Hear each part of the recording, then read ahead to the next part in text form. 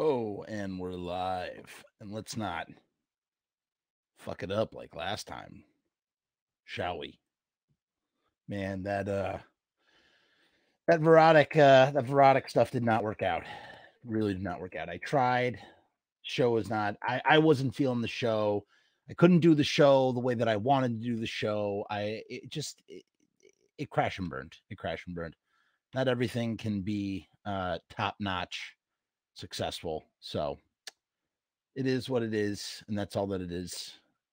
Seems to be going around a lot. Uh, I'm trying to find. Let me see if I have it here. I'm looking for my notes for tonight's episode. Uh, we are going to finally do. Oh, here it is. We're going to finally do the thing that I've been wanting to do for a very long time, and I keep putting it off. And we're finally going to do it. Okay, it's going down. So let me get rid of this because it's probably eating up memory that I need for my show. Let's see who that is. I'm just texting with a friend here, talking about the misfits.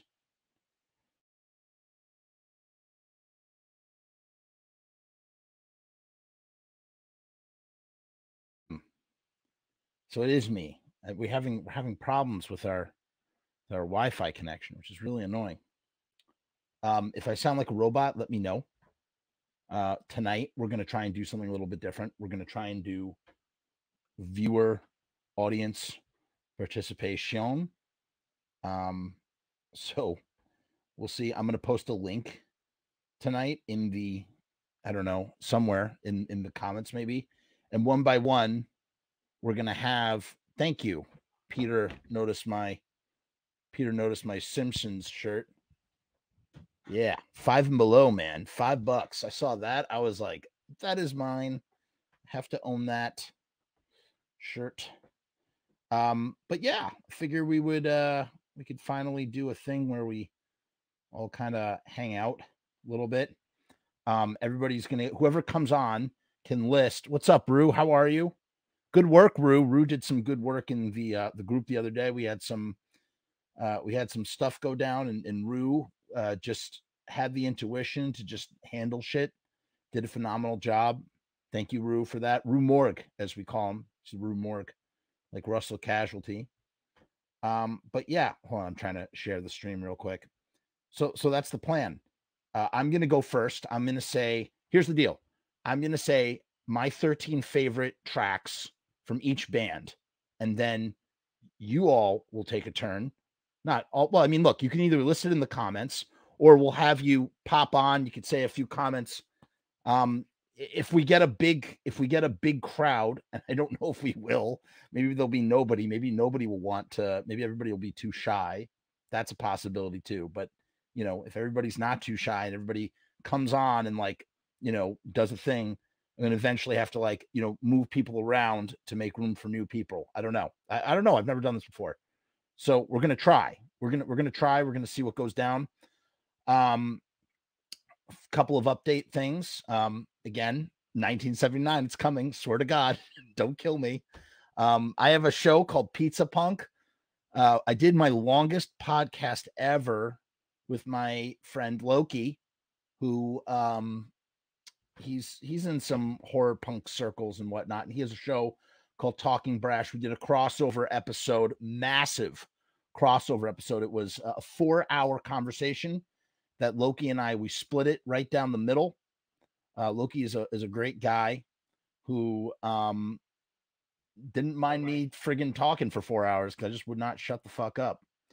Uh, and I'm gonna try and post the both parts right now in the chat.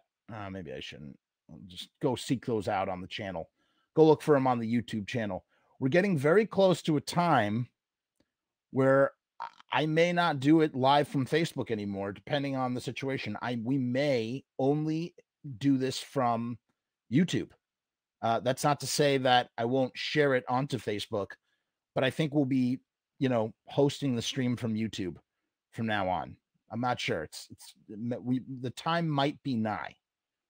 Um, nothing is certain. Loki and I talked about a ton of shit. Some of it, some of it may be rehashed. Um, from past episodes that you've seen here.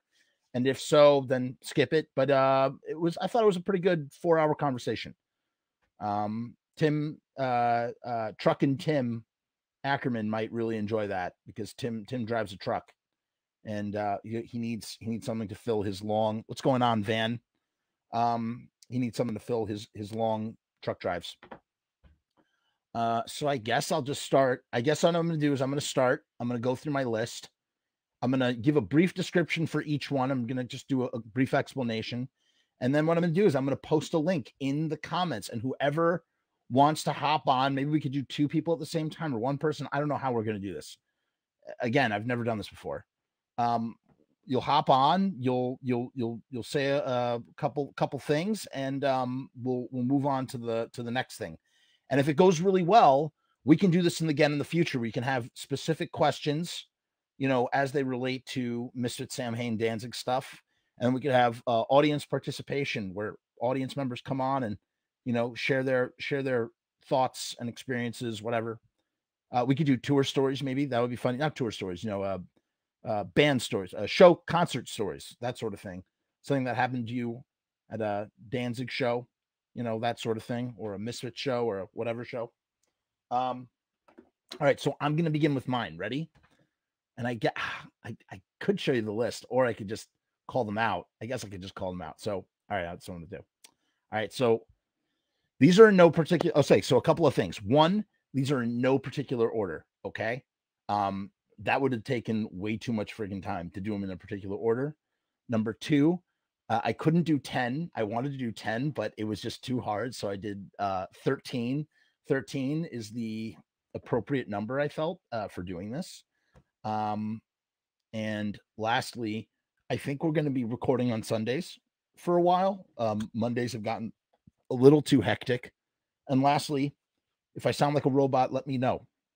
Okay, that's everything. Okay, so song number one. All right, so first let's start with the Misfits, obviously song number one. I wish I had a better countdown, a little better graphic. Imagine there's a, a graphic here and it just pops up.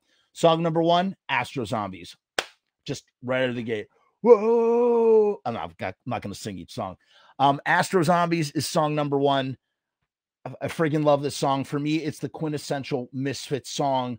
Um, if I'm going to introduce the band, the Misfits, to someone, I'm probably going to have them check out Astro Zombies. I think it has everything that you want to hear in a Misfit song represented. It's got some woes. Um, it's hooky. Glenn's voice is is is friggin' awesome on it.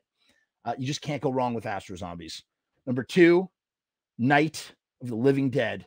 Uh, this has been a, a, a, a favorite of mine for for many many years. And here's the thing about these songs too is, you know, they change. You know, every once in a while, I I you know, it's not. I love them all. I love all the songs, but it's just I love all these songs, it's, but it's just like, you know, there are some that I just pay more attention to than others. Um, and Night of Living Dead is just one that's always been there. Uh, I just love, once again, you get your whoa, whoa it just builds up. And uh, Glenn is just sailing, man. He's sailing on the basic three chord, you know, punk rock structure, and he's sailing with his woes. He's, he's sailing down the woe sea with his woes. So that's number number two is Night of Living Dead, which is about, which is supposedly about bums, about um bums being like zombies in Times Square, some shit like that. Um, song number three, Children in Heat. I don't know what this song does to me, man. It just it drives me wild when I hear children, children in heat. I just lose, I lose my mind. Um, I don't know what it is that I feel like that band, that horror business band, is just firing on all cylinders on that track. I know that I guess they recorded that live and it just sounds great. Joey's just bashing, bashing away the skins, man. Um, Joey's a very meat and potatoes drummer, man. He's probably the most meat and potatoes drummer they had. You know, um, well, maybe Googy is the most meat and potatoes drummer they had. Robo's like just sheer hardcore fury. And you know, Jim is just Jim's mag- magnificent. There's he's in another class, and and and Manny's pretty Manny's pretty solid from what I've heard from Manny too. But uh Joey Image, just something about him. He's just bam bam, just just hitting those skins, man. And um, I, I don't know. The song is weird. What is it about? Children in Heat. You know, um, they all change their names to Chicago. They get venereal disease, and I just love the no resistance. I love the way I feel like Glenn gets lost in the madness of the song when he's singing it. Uh, it's just a great freaking song, uh, Children Heat. Up next, number four, We Bite. Um, We Bite is another one of those songs that just does it to me, just gets me like a froth at the mouth with We Bite, you know. Um, Strike Out on the Wolf's Endeavor, Carnivore, I Live for Pleasure. Um, when I get this blood, I rip your throat. I just want to rip your throat and drink some blood. The lyrics are so simple. Um, it's just pure hardcore, man. It's pure hardcore. And it's funny. We Bite had oh no, We Bite does have Robo on it, but it's from the 82. I think We Bite was from when Googy We Bite is really done by the Walk Among Us band. You know what I mean? So it's interesting that it's like a hardcore song right before they would really attempt, you know, to be hardcore. And um, I just can't get enough of We Bite. I love We Bite. We Bite is when I want my face to literally melt off. Uh, and an honorable mention, even though I said 13 songs, by extension, uh, by extension of We Bite, uh, freaking motherfuck, um, uh, Wolf's Blood, man. Just also just a, a furious song, um, uh, just a furious song about some dark shit that none of us will ever understand. Um, number five, Earth AD, title track, Earth AD. This is another song that's just brutal and fast and just punches you right in the face. It just punches you right in the face. It charges at you. It's like the song, it's like you're preparing for war. And that's the song you listen to when you're rushing into battle. Like you're literally facing death. And you're like riding on your mighty steed with your big ass sword in your hand. It's like ding ding ding ding ding ding ding ding ding ding ding ding ding ding. and then it just goes into that furious um it's just brutal man and it's about the hills have eyes supposedly or some of that something like that earth after doomsday and um it just it just it, it gets me man and you know what's interesting about Earth AD, especially at that later period, is Earth A- Earth AD has dynamics. The song like crashes. It has like a it crashes into the wall and stops like the down down down that's body down that's body and you. And then there's just like there's almost like silence. You think the song's gonna be over, and then Robo's like, "Oh no, the song's not over" because he does a drum roll. Boom. It's like they're spinning up the top. Oh, and it just goes in again, and you're just uh, it pummels you. And when he does that song live, it's it's just great, man. It is great. Earth AD. Uh, number six, Blood Feast. Um, this is a song I just I threw this in here just because I, I always love Blood Feast. I just think it's so brutal. Um, the the chorus, I love that, and the blood, do do do, and the blood, like what? Like he's just singing about a blood feast, man um, possessing your tongue, possessing your lips, possessing your eyes.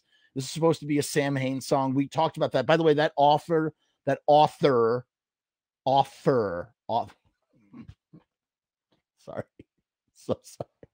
That offer, not author. I, was thinking Ar- Arthur, and then I was thinking author, and then I was thinking offer.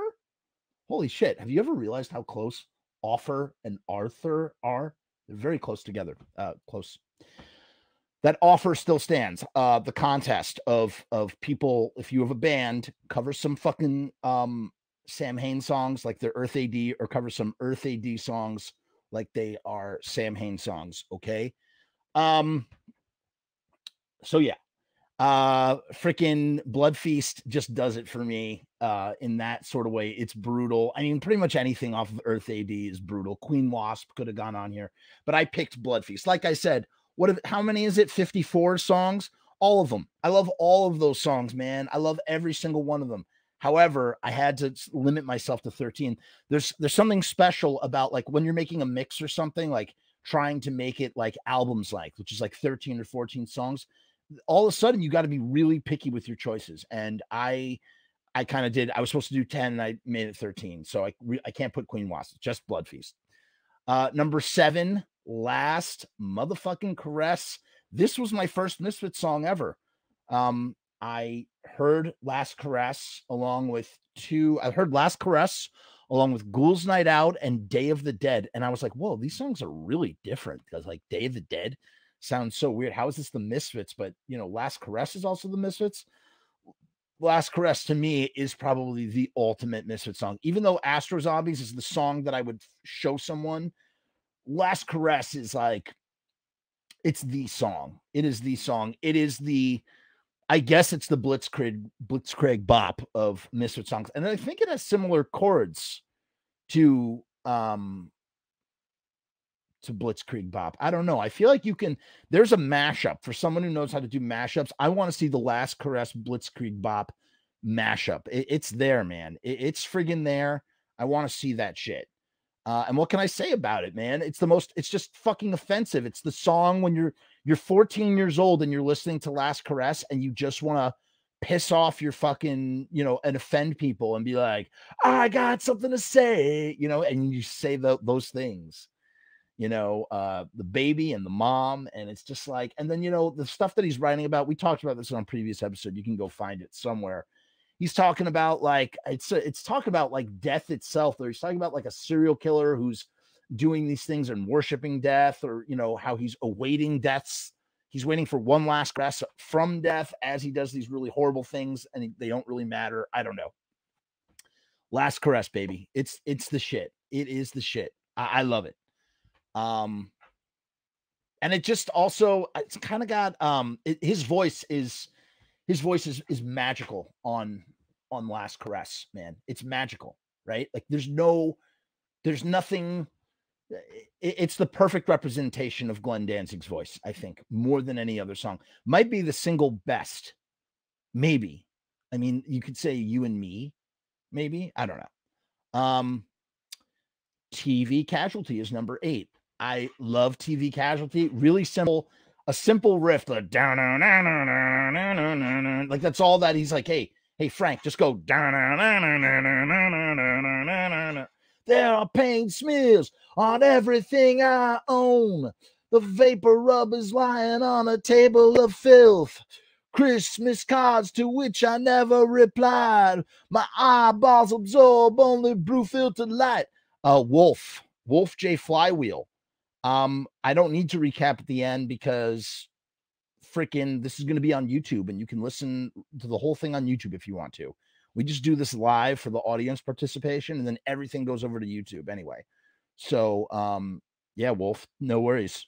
And Wolf, if you want to come on the show, we're going to do audience participation in a little bit.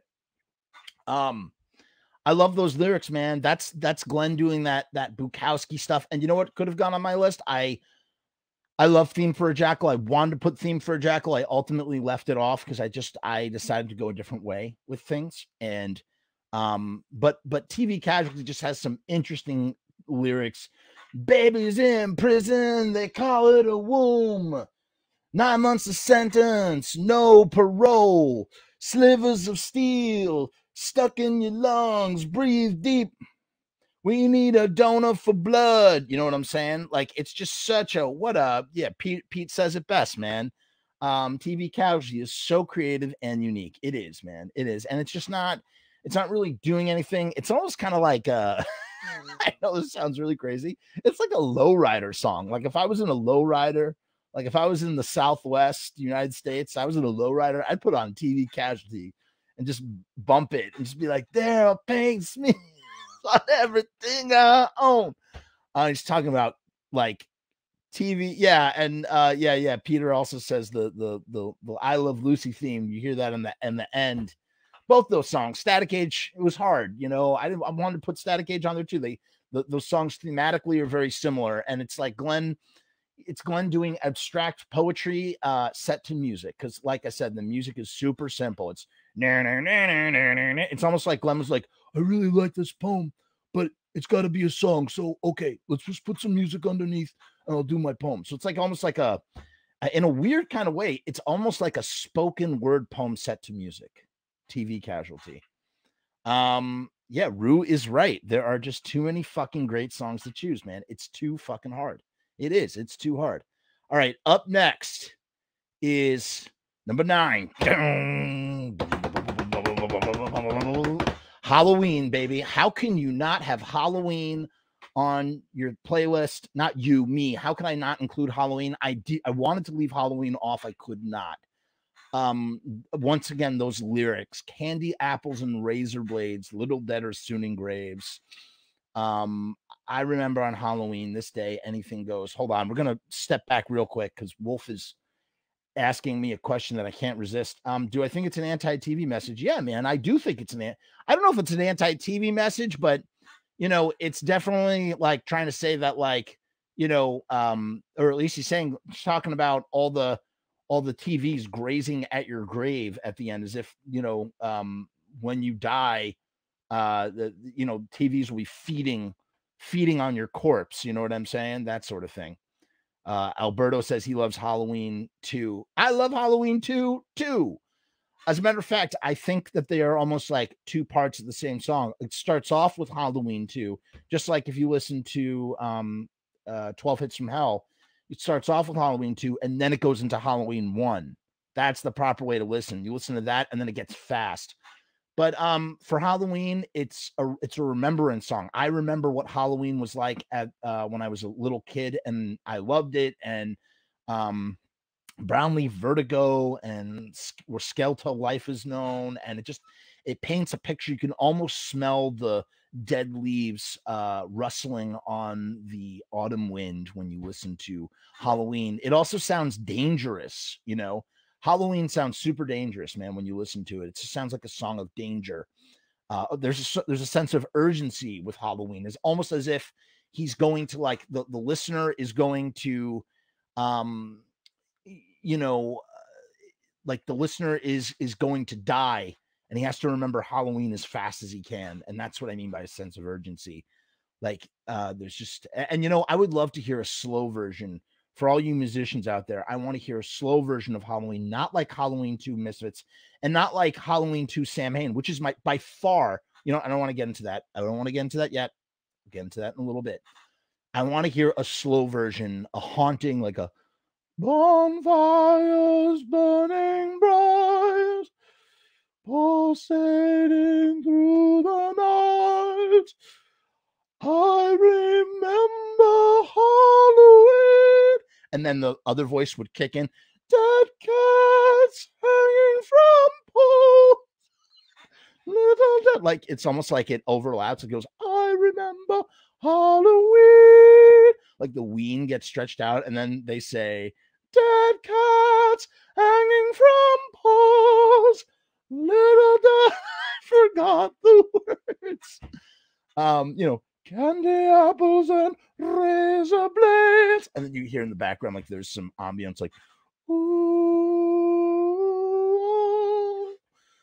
ooh, ah, ooh, ah, ooh. Oh, Greg says so. The Alkaline Trio version, Greg. Greg, I've I never heard of that. I never listened to it. I don't think that they do that. Yes, I agree. Chimes for sure, man. Get the chimes in there. And yeah, with a female choir, little kids, and it would just be like, dun, dun, dun, dun, dun, dun. I remember on like I would love that, man. And then at the very end, you get the little kids chant. Like almost like dead little kids.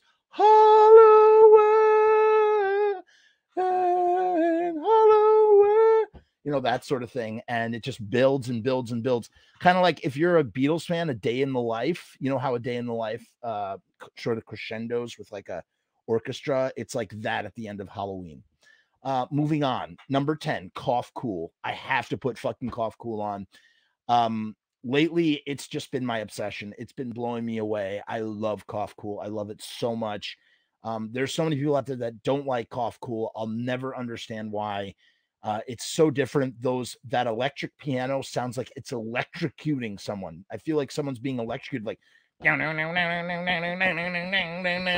this tree we walk upon. Um, and it's just it's that's the type of song that can just be open to endless interpretation, both musically and the lyrics. Recently, there was discussion in the group about how the cough cool lyrics are uh, about a vampire, which I thought was really interesting. Um, Pete says he loves the collection two version. Very cool. I agree. Um, and uh, I, yeah, man, I just ah, just really, really, really dig Cough Cool. It's just so great, and I love She too. Don't get me wrong, but I had to put one of the two on there. Uh, had to represent the. It's just so out there, as we've said many times. Art rock, art rock trio doing some really weird shit um, before they had add the buzz buzzsaw guitar and become the Misfits proper. Um, number eleven. All right, this is a little snobby. This is a little, um, you know, this is kind of stupid, I guess, a little bit. I put West End Avenue, and I know that's kind of a cheap shot, but I've listened to the song and I fucking love it. And I wanted to add it to the fucking list. West End Avenue. West End Avenue, West End Avenue, West End Avenue. Do, do, do, do. And if you're asking, hey, how the hell did you hear West End Avenue? If you listen to the first, the very, the pilot episode, which is a long ass episode, if you listen to the pilot episode of this show, um, the the the Facebook Evilive show, I believe it's. I'm to put it in the comments here. Actually, here. Oh, whoops.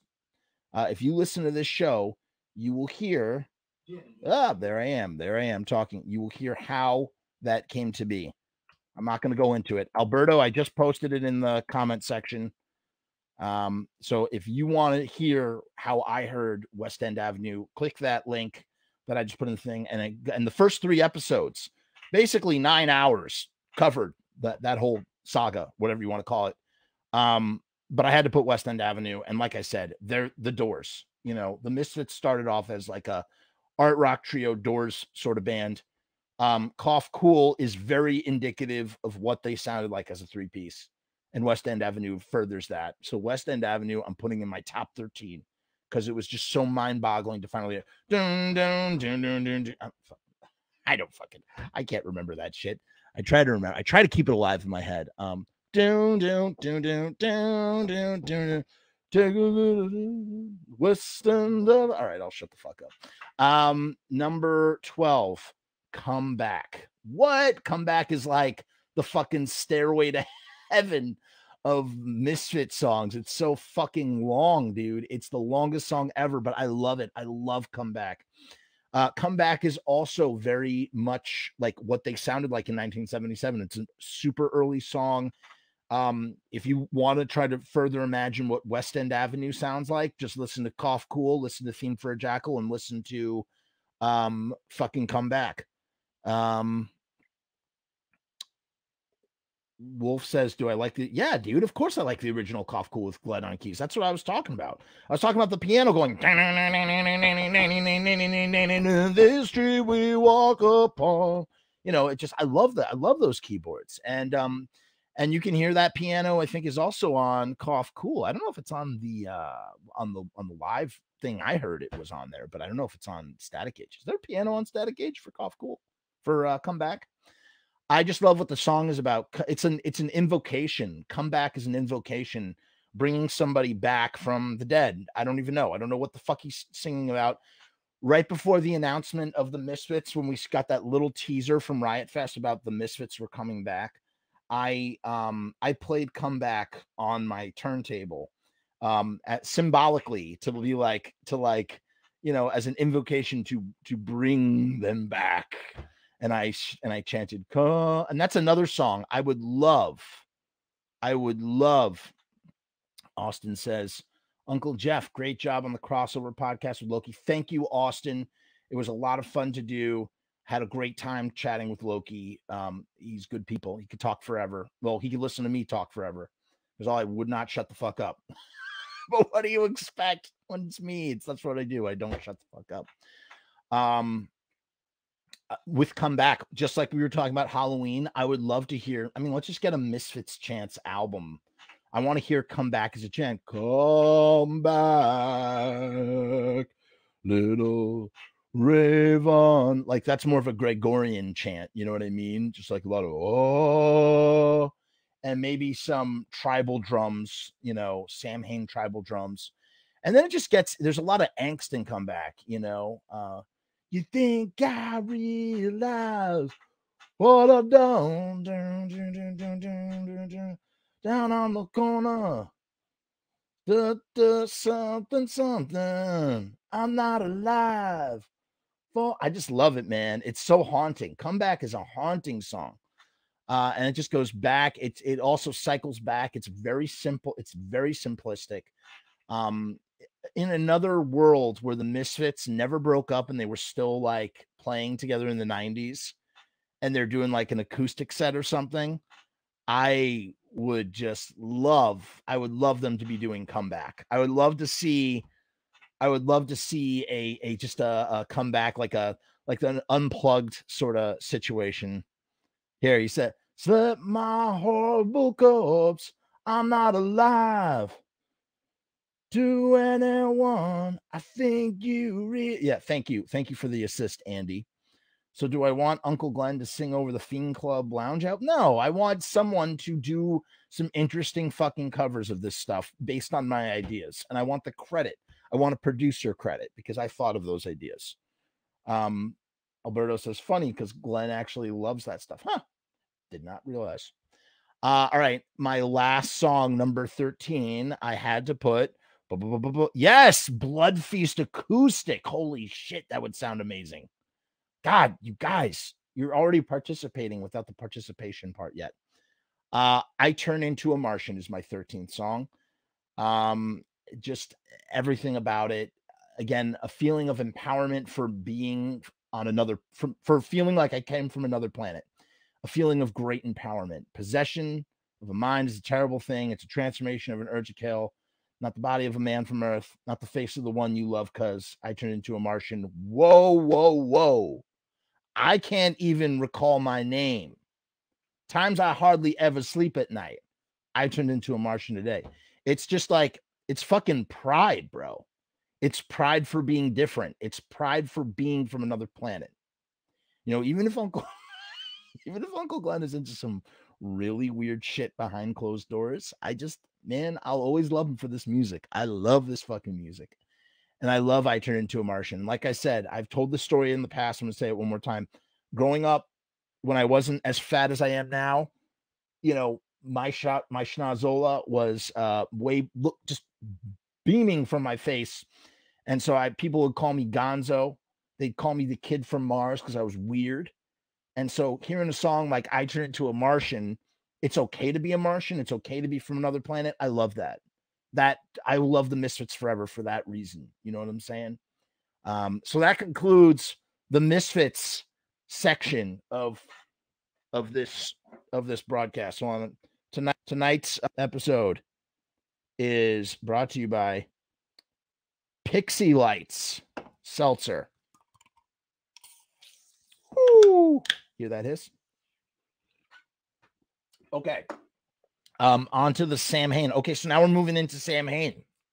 Here are my 13 Samhain songs. And if you could guess what number one is, it is Halloween 2. That's right. So Glenn reimagined Halloween 2 for Samhain, and he did such a good job. I think Halloween 2, Samhain Halloween 2 might be better than Sam than Halloween 2 or Halloween. It is my I love this song. Talk about that once again he's mixing that sense of urgency and danger with yeah like just fucking like the, the chant the, this chanting the ding, ding, ding, ding, ding, it's so dangerous dude i feel like a badass walking down the street when i listen to sam uh Samhain's halloween 2 and just listen to like this this latin formulae brutarum nectus desmon et communicationum Strepus, Epitus, uh, um, fucking, uh, and then it just goes into the refrain, the.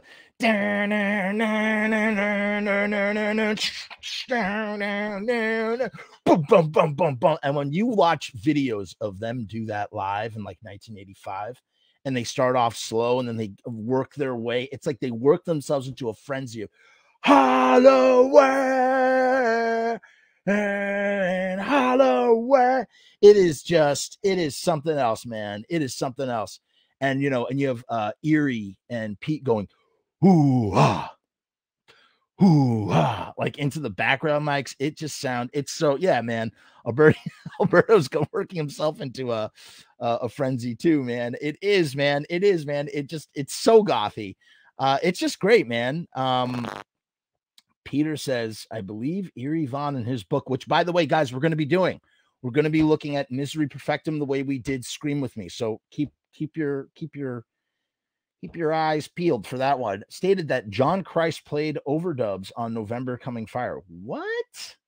Get the fuck out of here with that. Really? No. When? How? I got to go back and look at that. I don't think that's correct. I'm not calling you a liar or anything. I'm just saying I'm pretty sure that's not what. I've never heard that in in any case. Um, that would be really cool if it was true. I would imagine if anybody, it would be Glenn doing the overdubs. I don't think they they hadn't met John Christ yet. This would have had to have taken place in 1987, I believe. He says for Halloween too, huh? Really? I don't know. I don't know. Just just for that song, I don't know. I'm gonna have to look. I'm gonna have to look into that. Um, but Halloween too, man, just fucking melts my face off and just it grows in intensity. And just as much as I need to listen to Halloween 1 and 2 for the Misfits in the month of October, like I need to listen to Halloween 2. I almost kind of wish that they had done the original Halloween. They should have just remaked done remakes for both of the songs. But yeah, so that's number one. Halloween 2 is just my my jam. Uh, my mama jam. Um, and it just oh god i can't stop thinking about halloween two. i just want to listen to it right now it's just really really really good. I'm trying to think if there's anything else i want to say about it before we move on. I guess that's pretty much it. Metamorphosis lycanthropy presume inquam metamorphosis lycanthropy presume inquam i mean he's talking about transforming back. It's like a witch's chant to transform into a werewolf or something. Uh jerry had had uh, Glenn had told Jerry at one point that that's the whole point of the of the of the prant the prayer the, the the chant and i believe halloween i think halloween 2 actually comes before halloween 1 i'm not certain. I am not certain. Oh my god. I agree. They should have done a Samhain 7 inch of halloween 1 and 2 perfect. Um all right number 2 in my grip fucking killer way. So after, so I almost put Diablos 88 and Night Chill in a shared spot on my list of 13 um, Samhain songs. And I ultimately did not do it because uh, I just thought it was like a waste of a, of a slot, even though I love Diablos 88, even though I love Night Chill. Um, but I love the way that it goes Diablos 88 right into In My Grip and that opening guitar riff that I don't even know what is going on with that guitar tone and then the um very recently we were chatting in the group and Nick I'm I don't know how to say your last name Nick. Nick Esposito Espirito something. The dude who runs the Stooges fan club on Stoogeholics hold on I'm gonna look for the thing. There's a wire song right? There's a wire song and um Wire was a, was a punk band that I guess Glenn was into back in the day as well. And this Wire song is literally in my grip. Like you, you can. This is exactly where he was inspired for in my in my grip. I, I'm I'm convinced. I'm convinced it had to have come from here. I'm just trying to find it here. It's called Two People in a Room. Okay, I'm not to play it here, but I'm to put it in the comments. I would love to hear any. Ah, anybody agrees. I don't think it's a matter of agreeing or not agreeing. I think it's fact. This is a fact. So listen to this song and you tell me that's not where In My Grip comes from. Again, all credit goes to Nick for that discovery. Uh, really crazy discovery. Um, In My Grip is just a brutal fucking song. And the world it does. In my grip. It's just great. Just great. Not I can't say enough about that song. Love it. Um, and yes, Pete is right. Uh, Diablos 88 was originally called Wendigo or Wendigo, uh, which captures your imagination. All right, number three, The Hungry End. Oh my God, what a song! The friggin' Hungry End. There's a baby in a meat slicer on the kitchen table. Like, what a what a way to start a song. Glenn's writing, Glenn's sitting there. Hey, Steve, let me call you back when I'm on my walk. No, I'm broadcasting. No, no, no, broadcasting. What? What? What? What? no, I'm broadcasting. What do you want to go with? Let's just talk. You want to just talk? Yeah. What do you want to talk about? You give me too much dead air. All right, Ha- uh ha- no, no, no. Wait. I'm gonna hang up on you. Look, I'm hopping around like a monkey. Whoa. oh, oh, oh. No, this is not. This is not Samhain related. Fuck you. Fuck you, Steven. No, no, What? super entertaining right now. Oh, oh, I just backflip. Whoa, just landed on my feet. No, I'll call you on my walk. Fuck you. Fuck you, Steven. It was my brother. Um number three, the hungry end. Yeah. There's a baby in a meat slicer. Glenn's walking down the street. Hey, you know what? There's a baby in a meat slicer on the kitchen table, all done up. Uh, this song is just I, I don't even know about this song. I just love it. I love, I love the hungry end. Um, oh shit. Greg's been posting his number, his his his track listing. So I'm just gonna hold on. This is Greg's. Uh, oh, then I got to do it for all you motherfuckers. You know, I see there's so. oh, I'm sorry, I've been missing all these comments. You know what? Uh, you, you guys got to come on. If you want to talk, you come on the show. We're gonna we're gonna do that in a minute as soon as I wrap up these lists. Um, friggin' uh, the hungry end, dude. Mm, I love that friggin' song. The hungry end is waiting for the shout? It's um, and then it goes into this weird like wipeout like surf thing, like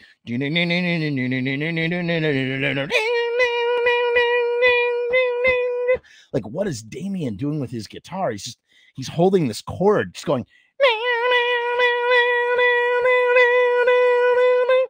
Um, and it's just great, man. It's great. The hungry end. I, I love it. I love it. That that fucking EP is is something else. Um, no, uh, number four is ready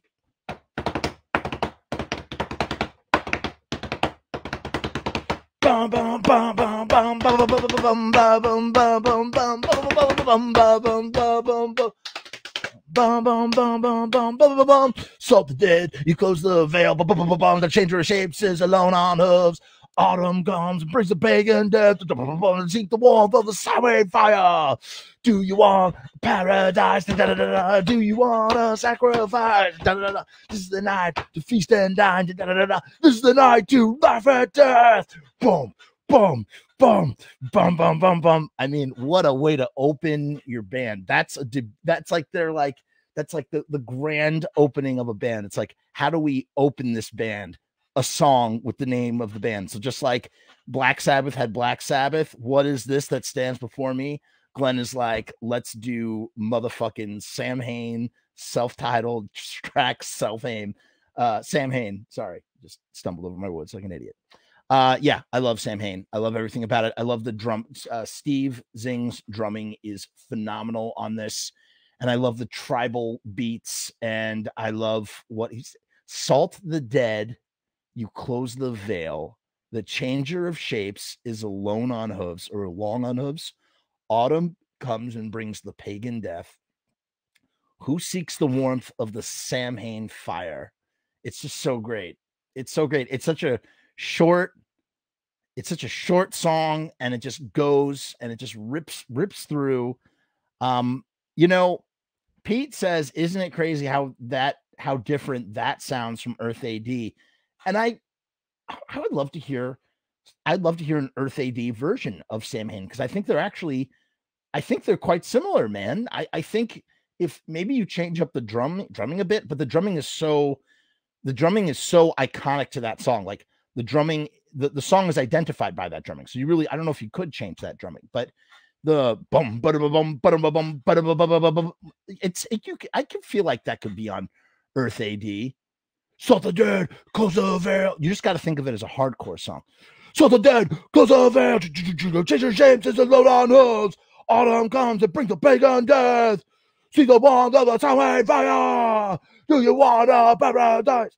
It, it would be like a, it would be like we bite. Like, do you want a paradise? Do you want a sacrifice? This is night to feast and dine. This is night to laugh at death. You know, it wouldn't be so um juggly. I don't know. I don't know if that makes sense. It's juggly. Um, but I love Samhain.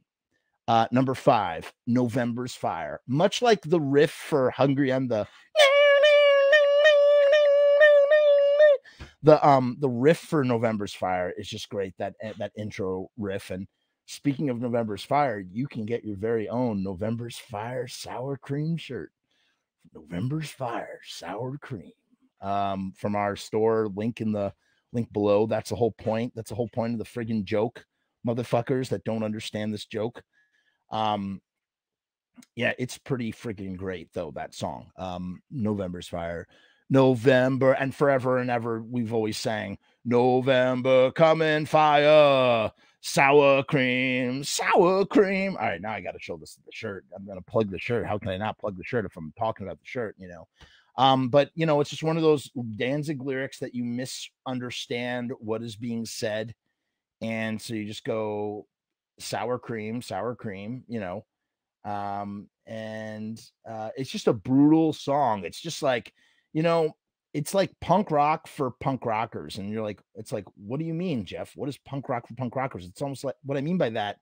I'm not saying it right. I'm not saying what I mean to say. What I really mean to say is that it almost feels like it's it's almost like anti-punk. Like, you know, punk rockers listen to like fucking, you know, whatever, like Green Day, and then they hear you listening to something like November Fire, and you're like, what? How on like why are you listening to this? This is so weird what a weird what a weird song to listen to november fire you know like i'd rather listen to uh, you know i'm i'm an american idiot oh american idiot you know? Um and it's so not that oh what do we have here folks? We have your very own november's fire sour cream shirt. Get it now folks. Support the creation of this art. Oh it wouldn't be a broadcast if i didn't fucking plug something for five minutes so there you go. But we're talking about the song November's Fire. And that's the the hoodie to go with it. November's Fire, sour cream, sour cream. All right, enough of that. Uh, if you want more information, go into the links. Oh no, you can see my my cheat sheet. Don't look at there. Okay. Up next, we have the shift. Um, I love the shift, man. The shift is uh once again, it's like an anti-punk song. These songs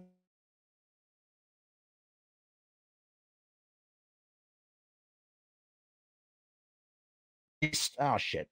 Did you did you did you? I cut out for a second. They're all based on. They're all based on you know post punk. They're all based on uh death rock and and goth. The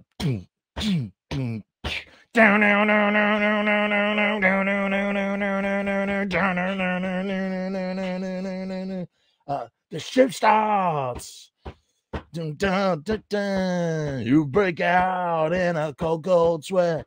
They, they're so unconventional, but they, they they're so hooky at the same time. Go sheriff, like you're just like they're they're so on another level. Like you just don't know what this dude is. Like this dude is so on another level from what everybody every other hardcore guy is singing about. Like you know, like oh, like you know, like I don't know, like what's a fucking hardcore song? Like just your your your cookie cutter hardcore song, and then Glenn Danzig singing "The Shift," which is just about like changing into a fucking werewolf. And once again, it's one of those songs that starts and stops. It's almost like a slow song. It's almost like a slow song. Um, it's almost like a slow hardcore song via death rock. And just uh, it's brutal, man. It's brutal and it's slow and it's uh, just a crazy fucking song and I would have loved to have included. Oh, never mind. I'm going to keep my mouth shut. Um, up next is another one of these slow, brutal songs, motherfucking macabre. Oh, you know when I'm when this is through, I'm just going to listen to Initium like straight through as soon as this is done. Macabre, macabre. What a song! Oh shit, I'm glitching. Am I glitching right now? Someone confirm that I'm not glitching, and I will keep talking about my list. Am I glitching? Confirm. Please confirm that there is no glitch. Hello. Hello. Glitch or no glitch? Are we still glitching? This is the one thing I hate about doing a live show. I hate streaming. Ah, man, I'm fucking glitching hard, aren't I? Let's see. Take a look at the thing. No. Wolf says no. All right, we're good. Can I keep can I keep going? I'm gonna keep going. All right. I'm just gonna keep going then. Um so okay, now it's okay. All right, so Macabre, man, I love motherfucking some Macabre. It's great. It is a really, really great song. This is just pure, pure goth spiritus. Life is pain. Ding, ding, ding. Succubus. Life is pain. You know, spine of a cat. You know, da da da. Split the form hell. I mean, he's I don't know what the fuck he's singing about. Uh, and you have that gothic for whom the bell tolls that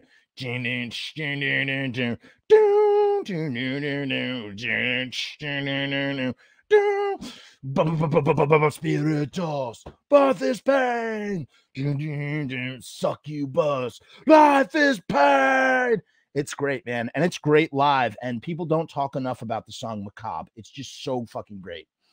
Um, and again, it's just like doing something really fucking like imagine how punk rock it is to be playing a song like Macabre in front of a bunch of hardcore kids. That's what Glenn's doing. Glenn's literally up there singing about fucking uh, spine of a cat, spine of heaven, split to form hell, spine of heaven, split to form hell. I think that's the lyric. Great song. Number eight, I think this would be on anybody's fucking Samhain list to walk the night, do do do do to feel your love. I mean, the most melancholy Samhain song out there. Probably one of the most melancholy pre Danzig songs out there, right? It is a very, very melancholy song. It's a wonderful song. And London or Glenn or whoever's playing that stuff is doing some really interesting shit with the drums. The Night of wonder, my whole life long. You know, and he's saying, The night becomes my bride. You know, it's just great. It's really, really great. His voice is phenomenal on it. And uh, yeah, you just like it's just like he's going in the opposite direction. And it it just it, it's got dynamics. That's what a lot of the Samhain material has. Die motherfucking dynamics. Um, and you can hear those dynamics. It's the same thing. You hear the dynamics on Earth AD, you know, the song Earth AD. It's like moving in that sort of direction. Loud, quiet, loud. You know, that's what like the Pixies. If anybody's a fan of the Pixies, Pixies go loud, quiet, loud. And that's what he's doing with To Walk the Night. That's what he's doing with Macabre, the shift, you know, and it's nice. It's nice. It's not just a wall of noise. Oh, um, number nine is fucking Descent, man. Motherfucking Descent. And here's the thing Descent, you know what's interesting about all those songs on Final Descent? They are, or at least the, the first four songs or whatever, they they really are Samhain by way of Lucifuge Danzig. You know what I'm saying? Like they're making Lucifuge at the time, or I think maybe it's in between uh, Danzig one and two, or right around the time of Danzig one and two. They're doing. um It doesn't sound quite. It doesn't sound like Samhain. As a matter of fact, if you listen, depending on the version of Final Descent you have, you hear those four other versions, those demos that they did with London May, which are Twist of Cain, Possession, and um, uh, Trouble, and uh, Lord of the Left Hand, and those sound those that's the connective tissue. That's the missing link between Samhain and Danzig right then and there. You listen to Twist of Cain. Twist of Cain is like a metal song, but it's done like Samhain. You know, his voice is more guttural and grunty.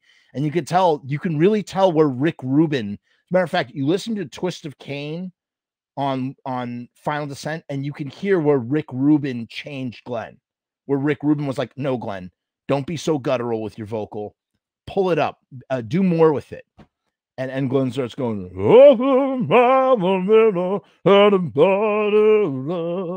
instead of just being like, you know, uh, really like, you know. Um, so I loved and I love Descent.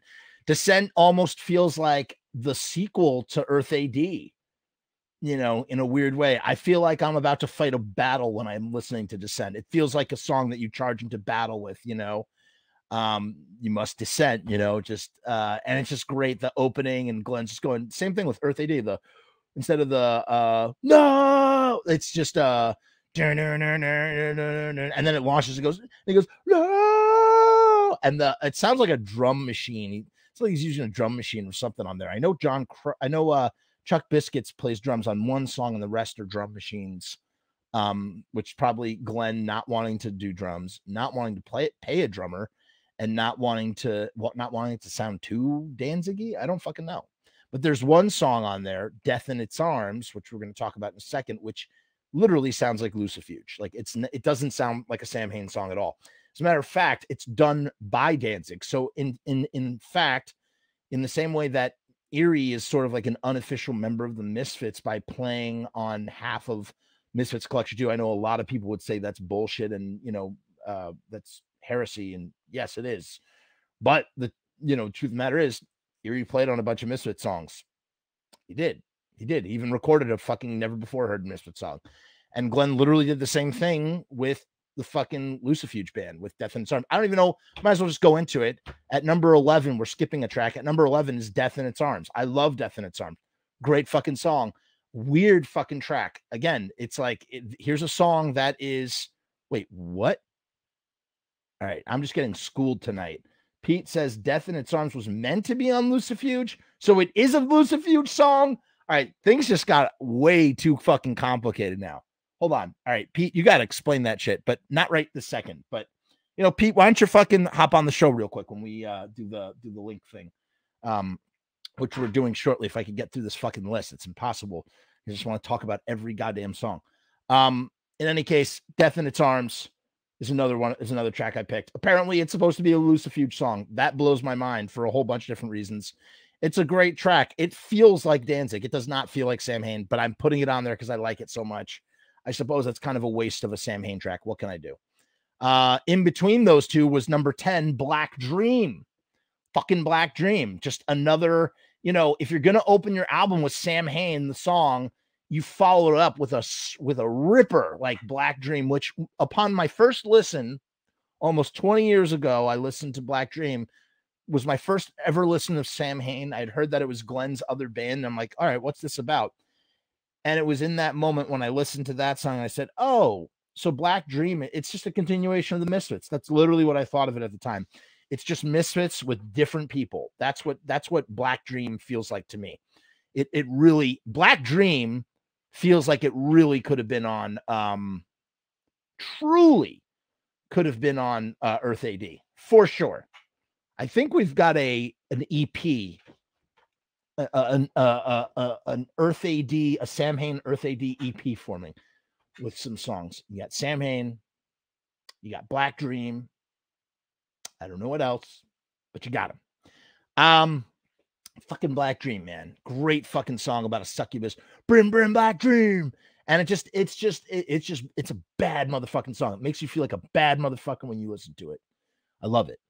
Um, number 12. I love this song. I hate what it's really about, Gulp. Uh, especially with all the shit that I've been talking about. Lords of the Left Hand, but not Lords of the Left Hand. Um, not the one that he sort of re-recorded, the demo with fucking London May, the really fast version, the original version. I won't even attempt to sing it. I don't even know. It's just, I just love the, I love the energy of it. The,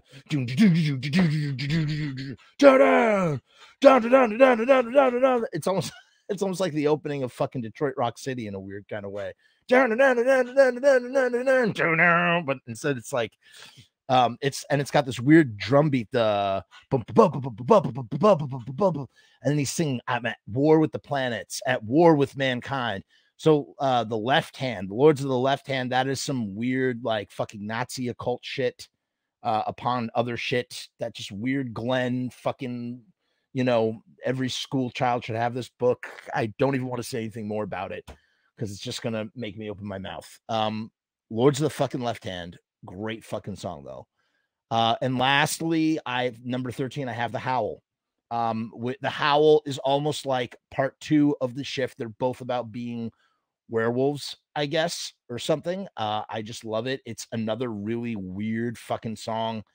Um, it just sort of gallops along. Do do do. I'm not even gonna attempt to try that, but out of saw the house no, no, no, no, no, no, no, no. And you know, uh, if you listen to the live versions, you hear those backup vocals from Eerie and and Damien. They're great. Um, and it's just a great song. I love the howl. I love the howl. Uh, there's a really great fan video that someone did of like werewolf shit for the howl uh, on YouTube if you can find it. Um, and my blood just goes to work when you hear the how wow wow wow. Okay, moving on. All right, here we go. The final 13 songs. Ready, steady, go. All right, sitting at number one, probably my single most favorite Danzig song. What do you think it's going to be? What's it going to be? Mother. Fuck no, it's not Mother. I hate Mother, as a matter of fact. I can't stand Mother is like Monkey Gone to Heaven. It's like Blitzkrieg Bop. It's like a song that you fucking everybody knows, and it's just fucking. I hate hearing it. I, I wouldn't mind if I never heard it again. I just, you know, I'm tired of it. I, I, I whatever. It was a great. Did I did I love it at one point? Of course I did, but I'm just like fuck you know, I just uh yeah, Alberto, no mother of mercy. That's right, motherfucker. No mother of mercy. I love Mother of Mercy. Great song. Did not did not include it on my list. Did not include it on my list. M- remember, these are not my favorite songs of all time. These are just 13 favorite tracks or 13 tracks that I'm really into at the moment because it changes all the time for me. Um, so my number one Danzig song is, and this is my number one Danzig song, Possession. First time I heard Possession blew my fucking hair back. This, you know, of all the lists that I made, the hardest list to make was Danzig list because there were so many tracks I wanted to include from Danzig 1 and Danzig 2. Danzig, I can listen to every single track all the way down, even Mother. I don't care. Huh, wait, what? Wolf says, I have to leave in a minute, but I have an interesting story of when Danzig toured Auckland, New Zealand in 93. And he heard oh my God, that's you, Wolf? And he heard about my friend Misfits cover band and came down to the bar. Uh, they were playing and the band joined them on stage. Yes. Oh my God, Wolf, get in touch with me, motherfucker. Hey, Wolf, I want to hear that fucking story. We're going to have you on. Oh my God, I want to hear that story. I've seen the pictures. I've heard this. I've heard this, but I mean, did you not just tell the story? Is there more to the story? I want to fucking hear the story. This is a great fucking story. Um, what they must have fucking geeked out so hardcore. Um, yeah, all right, but that's whatever. Another day. Possession. The first time I heard possession, it blew my fucking hair back. I didn't know what to expect. It sounds like the opening of hell. It sounds like hell is opening up. I feel like talk about like so, like the, this, the theme about these songs. Wolf, hey wolf buddy just message me okay uh message me on the on the the low i usually don't check the lodi inbox. Just send me a um a message okay uh, on there. We'll we'll we'll coordinate that. Um it's a shame you have to go because i would have loved to just heard it right now. Come on wolf you got to go right now. Fucking hell. Um yes alberto he sings background on twist of cain and possession. And um, I just love possession. It sounds like the gates of fucking hell are opening up. The it sounds like all the sounds that were later used for Doom, you know, the video game Doom. It just sounds like they were all Danzig got them all for this track because you hear this like, and uh, it's possession, man. It's like a song, I guess, about the Exorcist or some shit. And um, you know, Glenn is just, you know, I just love uh and there's like a woman's voice on there on that track too. I want to crawl inside your skull, nestle in your brain, stand you on your head, down, down, crouch you on all fours, down, down, down, down, down. It's so fucking good. Spiritus. I think they do Spiritus and Succubus again. Down, down, down,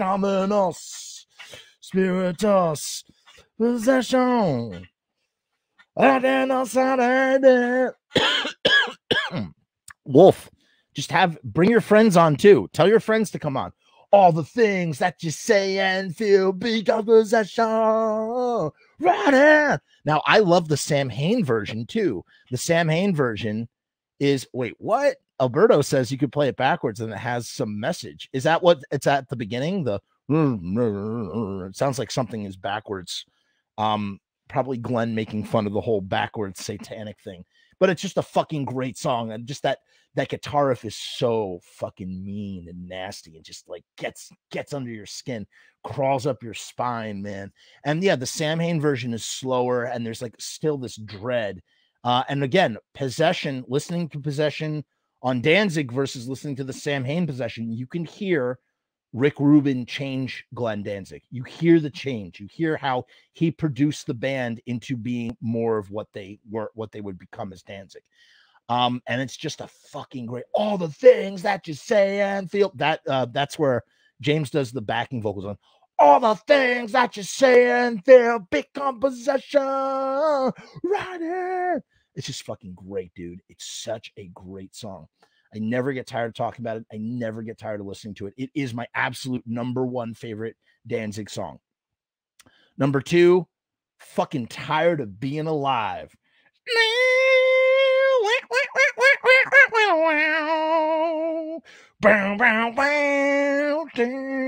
It sounds probably really horrible. Like it's I can hear it in my head and yeah, can't play it back. I don't think. Do do do do do do do do do do Oh yeah, ripping you down. I just love it, man. I love everything about it. I love the guitar. When I'm tired of bleeding light, it's just such a great fucking song. On my bleeding. Oh, sorry, I'm just like getting so pumped thinking about the song. I love Tired of Being Alive. Probably my second favorite Danzig track, if I'm being honest. Uh, I loved hearing it live. I love it. I love everything about it. I don't know what else to say about it. It's just a great rocker, man, and it just doesn't feel. It's just like it's like pop metal, man. It's really pop metal when you listen to it. I know that sounds weird to say, but it is. It's very hooky. It's very infectious, and I just I can't say enough good things about fucking Tired of Being Alive. Whoa, Alberto says that Alberto, you know some shit. Alberto says that's Tommy Victor's favorite song. I, I did not know that. He plays it great live. I love listening to him do it. Um, number three, another. I, I'm, these are really in the order, I guess, of my favorite Danzig songs. So start, starting out at least. Number three, Sistinas. I, I not only is Sistinas one of my favorite Danzig songs, I think Sistinas is one of the greatest songs Glenn Danzig has ever written. I think it's the closest thing that we've ever really gotten to you know, besides like all that Elvis shit, I talked about this on the Elvis episode, you know, the um reviewing uh Danzig sings Elvis, that that these covers are, are quite personal to him and he's singing them with great conviction. And um, not that he's not singing anything else with conviction, but it's just there's just something about there's something about Sistina's Sistina's where you really feel like you really you really, really, really feel his melancholy. We're talking about that to walk the night melancholy. You feel that again on Sistinas, and you feel like he's really singing about someone that he lost. And um, it's just a beautiful song. It feels like the perfect fusion of like Ray Orbison and um, not in terms of like sound quality per se, like not like not like not like vocal quality, but it sounds like it's like a Ray or- Orbison. Like I can imagine Ray Orbison covering that song you know, but doing like triplicate, like guitar work, like take my hand, I can't do a Ray Orbison um uh voice, you know, but uh it's just it's beautiful. And then um always on my mind, maybe it is, is the it's almost like he's showing us the songs that influenced his Danzig stuff when he's singing that Danzig sings Elvis and I think it's the always on my mind track. It's either that one or there's another one where he you literally are like, this is where Sistina's come came from. In the same way that um maybe it's baby let's play house is like American Nightmare. And you're like, what? I'm like, no, no, for real. If you listen to American Nightmare, I think it's either baby played house or I don't know. Go back and listen to the episode. I'm fucking this all up. Let me just move on. Um, up next, number four, and you've seen that YouTube clip a hundred times very famous, iconic show for the band in 93, Halloween 93, Irvine Plaza, Irvine Meadows, sorry, Irvine sold out show at Irvine Meadows, Halloween show. Um, the show has never been released in full, but it's come out on a slew of things. You've heard those tracks on Thrall Demon Sweat Live, and I my preferred version for Left Hand Black, which is the song. My version, my preferred version is actually the Demon Swat, the Demon, the Thrall Demon Sweat Live version of Left Hand Black. I like it so much more um, than the studio version, which I feel is actually sort of mixed, very flat. It feels flat to me, like very. It's not very. There's no dimension to the song. It's very. um I don't know. I, I don't know how how else to describe it. It's just how it feels to me. Uh, maybe it feels just too perfect, like too studioized. Like I need to hear like that live rawness that you get on on Thrall and the band never sounded tighter. That is at that point, I feel like that is the pinnacle, the pinnacle of Danzig as a band, as an entity. No offense to any other fucking members of this band. I'm just simply saying that them playing that 90, it was 92 Irvine Meadows, not 93, 92. The band has been on the road for fucking years. They've been same lineup, no lineup changes, and they are an iron snare. They're just or they're like a iron trap. They're just so tight. They they it's like they can tele like telepathically communicate. They're they're working in perfect simpatico, and it's perfectly represented on Left Hand Black on Thrall Demon Sweat Live. And you can see that footage and you just you feel it, man. You feel the energy. Can't say enough good things about that song. Love it. Number five is going to come to as a surprise to many, perhaps from Danzig 777. What? Without Light, I Am. This song fucking cranks. Holy shit, is this a great song? Um, and I don't know what is he saying. What are the words? Stone. uh, Joey is great on the drums he's saying something like, I am so, listen, proud. I am not like your ah Steve Zing. Steve Zing says, eh. Steve, what is your okay, Steve? What is your favorite Danzig song? And what is your favorite Danzig song to play live too? You have to answer that one as well. Um, I'm gonna go back to what I was saying before Steve decided to tell me that he doesn't like Without That I Am. Um, I just love this song. I, I, and you know, I guess it closes out the numbered albums, right? Danzig 777 is the last number numbered album, right? So it's like the final song. And I just like the refrain chorus, the without lie. Wait, without all right, I, I can't sing it. Whatever. You just know what I mean. It's a great fucking song. I love the I love the guitar hook on it. Um, I love uh fucking Todd Youth doing that that guitar that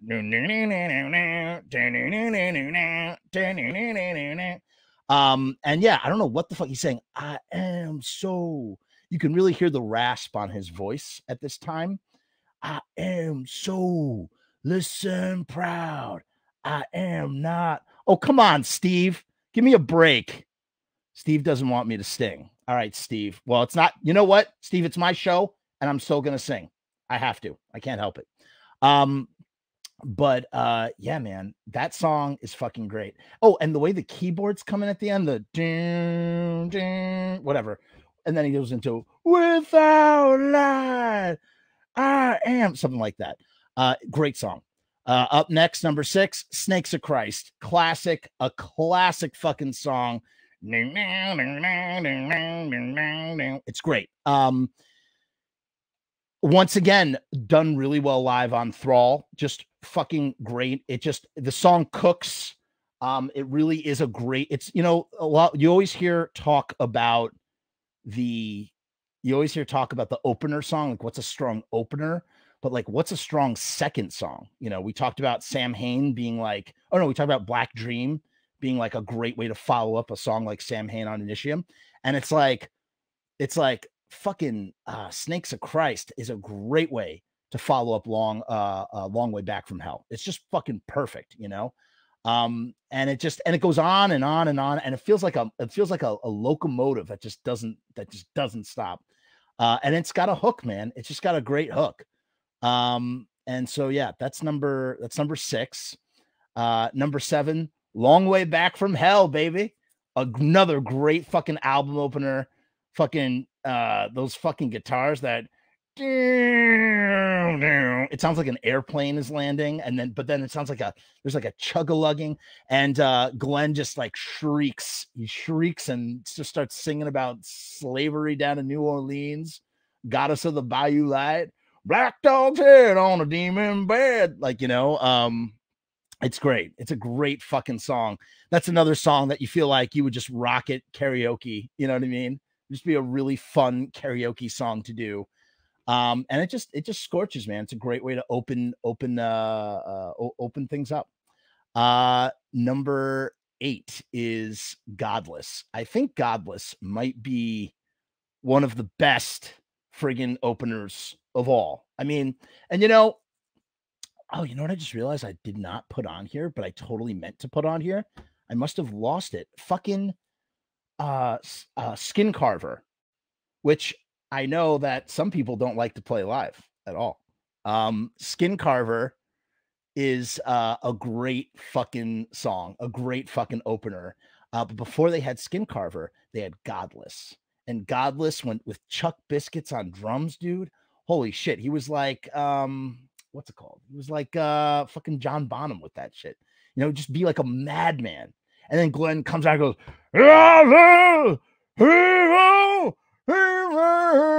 you know, just like just just going off the chain, going off the chain. Um, and it feels like I don't know, it feels like a demonic Led Zeppelin or something. I don't know what it is. Um, but that that opening drum thing that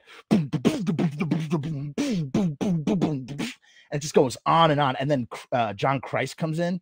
It's great. It is really, really great. You can you can awesome. You can live your life based on the final lines of Godless.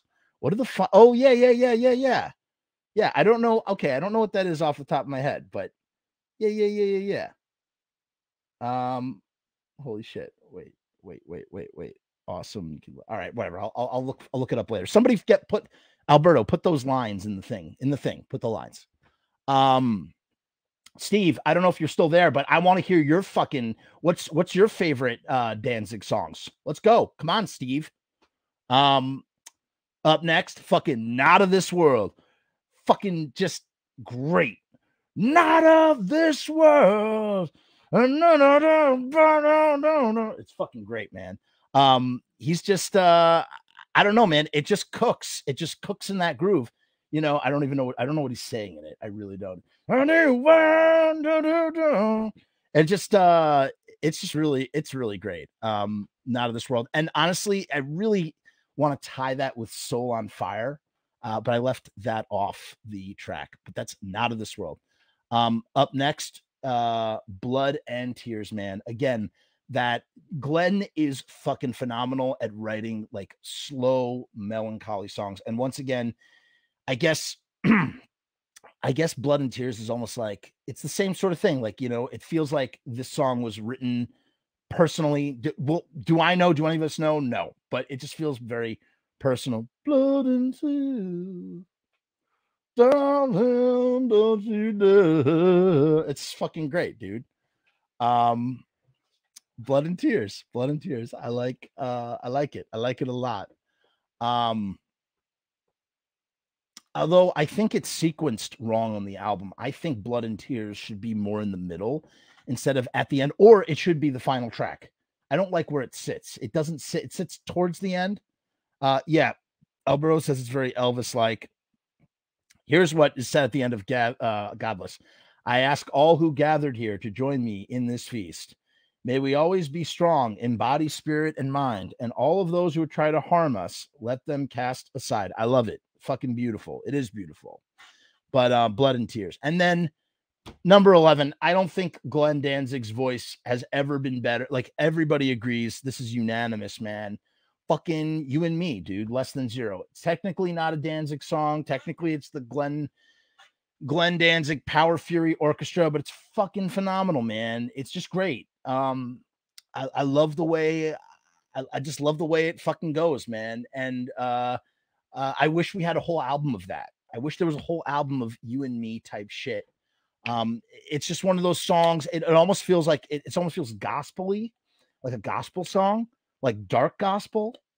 like wouldn't you want a Glenn Danzig album full of satanic gospel shit, like just like dark satanic gospel music, like the reverse of gospel, because gospel's about like what, like Jesus or whatever. They have like dark gospel. I think that would be really, really great. So you and me, probably the single finest. That's Danzig's voice at its peak, at its peak in, in Misfits, Samhain, or Danzig. That's that's his voice at its greatest potential, greatest power. Fucking you and me. Um, number 12, this one might feel a little random. Fucking Black Angel, White Angel. I love this song. I don't know what it is. He was playing this a lot. He was playing this a lot in uh 2009, 2010 maybe. Um around there when he was opening with Skin Carver. Well, he still opens with Skin Carver. Um I love Black Angel, White Angel. Uh it just it just has a great hook. Um, I really don't remember the song because it's been so long since I've sa- sung it, so I'm not going to even to attempt to. But it's really fucking great.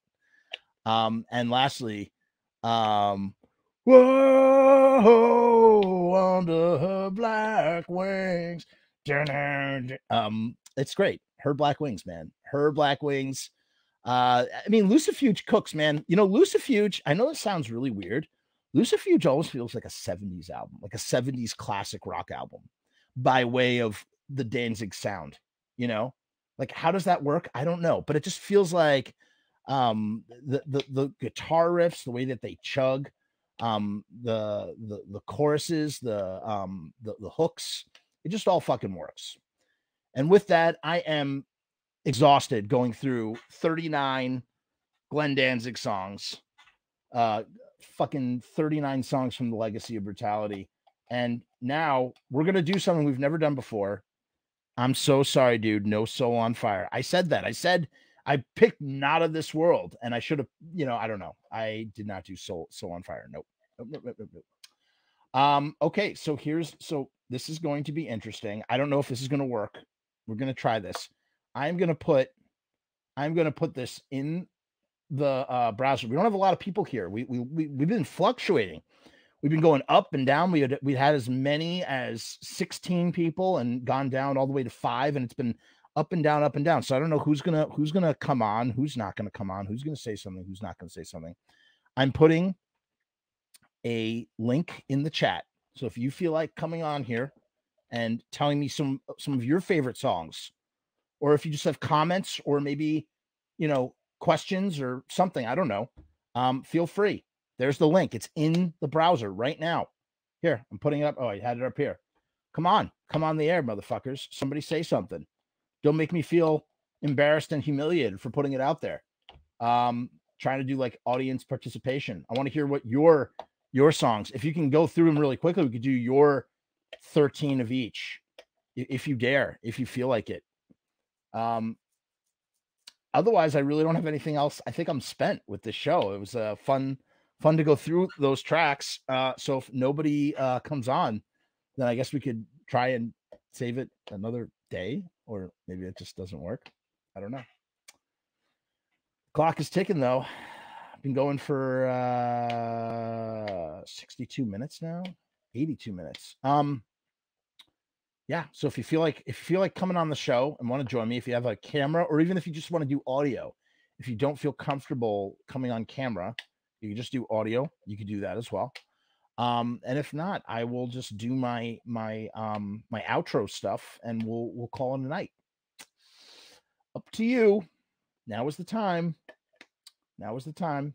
We got eight people watching. If anybody wants to join us, here's your chance. Come on. Come on. Don't be shy. Introduce yourself. Say hello. You Peter, you don't need a laptop, buddy. Peter, you don't need a laptop. You can do it from your phone. I've done it many times from my phone. Oh, we lost someone. Um, okay. I'm just gonna all right. Well, I'm gonna do my outro stuff. If no, I'm gonna leave this link up. If nobody does it, I'll I'll just end the broadcast. And it'll be oh yeah, we got someone. Alberto is in the waiting room. Ready? I'm gonna add him on. Yo, what's up, Alberto? How you doing? Hey guys, how you doing, everybody?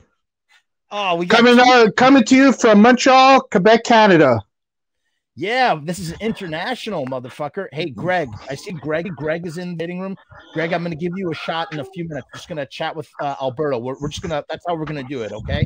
We'll just, we'll, we'll go through people. I'll uh, do that sort of thing. Well, welcome. You're the first like video guest I've ever had on the show. Well, cool, cool. Uh, It's an honor. It's an honor. I love your uh, podcasts. Are amazing. Your insights and uh, your knowledge of uh, Glenn and the Misfits and everything, Glenn uh, Danzig. So, yeah, it's awesome, man. Always going to support you. Thanks, man. Yeah, it's just fun. I, it's fun to just chat about some nerdy shit that you know we feel like nerdy about. I'll tell you what. Yeah. Why don't you give me, um, give me one of your. I know you were saying it in the chat right now on the air. Give me uh one of each of your favorite songs. Okay, well, I'll start up. I'll And start why? off with Danzig. Yeah, I was lucky enough uh, a couple of years ago. You probably remember this. I got to jump on the bus and uh, hang out with Glenn for roughly for an hour. We got to watch The Walking Dead together. It was awesome, and I squeezed in telling him, you know, I love the song uh, "Netherbound." Of Ah. um, I love it. I love that song. It just it's a great song. So I got to tell him, I go, you know, you should add it to your set list, and he kind of you know, uh, side back and chuckled a bit. He goes, "Ah, you know, Steve has to learn the parts and everything," and uh, goes, uh, "It's never gonna happen." so I'm like, okay. So, so for Danzig, I really love Netherbound, one of those underground tracks. Really, Wait, just on, an before you amazing song. continue, Before you Yeah. continue, wait. So what was that? That must have been so fun to watch Walking Dead with Glenn on his bus. It was. It was amazing. I was on there. We were chatting for roughly about an hour or so, and then uh, we started talking about The Walking Dead. I had originally told him that, you know, Glenn, I feel like you would have been, you would be a great Negan. Uh, I think you should be. A, this was just before the Negan character was gonna present himself, and I'm a big fan of the comic books. So I was telling him, you know, have you ever thought of, you know, would they ever consider putting you on the show? Because you would be an awesome Negan. And he Yeah. he thought about. He looked at me and he goes, you know, I don't think so. He goes, uh, they take a lot of British actors and what have you. I go, uh, so you know, he kind of goes, but uh, you know, and that's when he mentioned he actually wrote a song for the show, and um, they unfortunately they never ended up using it, so he just put it on the last album. But uh, and then he goes, oh yeah, speaking of The Walking Dead, he's like, put it on, you know, because it's on right now. So we got to watch it just before he got up on stage. So we watched a bit of it. It was really cool. Yeah. right, what's your Samhain song? I'm surprised you didn't mention this. I really, I mentioned it in the comments. All guts, all blood, all. I love All that blood. track. Yeah, all, All Yeah. fun. yeah. Love so it. I love that one. And the Misfits, it's extremely difficult because I love so many of them. Uh, Children in Heat is one of them that uh, I, I, I'm. But but one song I'm dying. I am dying for the Misfits to do live, either in a reunion show in the future, in the doorway. I think Ah. that's one of the most underrated Misfits songs Great song. ever. I love that song, and you were you were mentioning vocals, and I think that uh, Glenn's vocals on that track is just amazing. yeah, it's just amazing. Yeah, I love in the doorway. Yeah, so those are my three. Uh, I think that uh, you know I could listen to, and I have listened to over and over and over and over again. But yeah, so those are my three. Hey, Alberto, it's very nice to meet you face to face. Thank you so Yeah. much for coming on the show and not making me feel like a gigantic loser for putting my my link out there. No. No, no, it's all good, bro. You're doing a great job. You're you're supporting Danzig and everything Danzig. Uh, Steve came on. That was awesome. So just keep doing what you're doing, and uh, hopefully, if everything goes well, maybe I'll see you at Psycho Fest next year. Uh, Danzig's going to be doing the full Lucifuge uh, album. It's going to be amazing, and hopefully, we'll get that uh, merch, that secret merch that the Psycho people have. They have like this Danzig cross that they were originally going to sell. Cool. So I hope, I hope they bring that out. But I'll be there at Psycho Cool. Fest. It's going to be awesome. So hope Cool, you can make it. Peace and hair grease. Thank you. All right, bro. Take care. You too. Bye. All right. Up next. Up next, we have. All right. I'm kicking you from the studio. Up next, we have Greg. I see Peter. I see you just entered. We're just gonna go one at a time. Greg, what's up, buddy? How you doing? Yeah. What's up, man? How you doing? I- I'm good, man. Thanks for uh thanks for tuning in. Thanks for listening. Thanks for coming on the show. Of course, I uh, I like to lurk around a lot, but not participate a whole bunch. So, That's so yeah, this is this is a first for me. So, yeah. Oh, great, man. Glad to have you on the show. Uh, so you. give me your three. Give me your give me your uh, Misfits, Samhain Danzig picks. Uh, Misfits uh, in the doorway. It's always been my favorite, so Nice. it'll never stop being my favorite. Um, so Samhain it also also has to be uh, to walk the night. Um, I, for some reason, I go towards Glenn's like croony songs in his earlier bands. So those are my two favorite favorites. And for Danzig, that's the hardest one. Um, but it would probably have to be seven seven seven. Oh, seven. Se- that- see, that's I'm telling you, Lucifuge is secretly like it's like a '70s classic rock album. I'm Well, sure- yeah, it even has a Doors album cover. Sorry? It's got a Doors album cover. Yeah, it's got a Doors album cover. I'm sure Glenn would be very mad to hear that, but I feel like that feels very 70s ish in that sort of way to me. Oh, yeah. I don't know, But that's cool, man. Hey, Greg, listen, Yes. thank you so much, man. Thanks for coming on. I really appreciate it. Um, and uh, tune in next time. All right. Will do. All right, man. Be All right, well. take Be it well. easy. Peace. All right. Whoa. I'm kicking you. I'm kicking you, Greg. Boom. And next up, we got Peter. What's going on, man? Hey, how's it going? I'm glad you got us set up. Good, good. Yeah, I figured I figured it out. Hey, real quick, let's see that mug. You got the mug? Let's see what the mug uh, looks like. I'll grab it. Hold on one second. Go ahead. Go ahead. I'll I'll, I'll fill the dead air.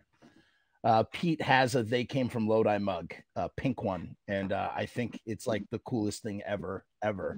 And he took a picture with it, and I feel like he needs to have it in the frame while he uh, uh, educates us on some stuff that he knows.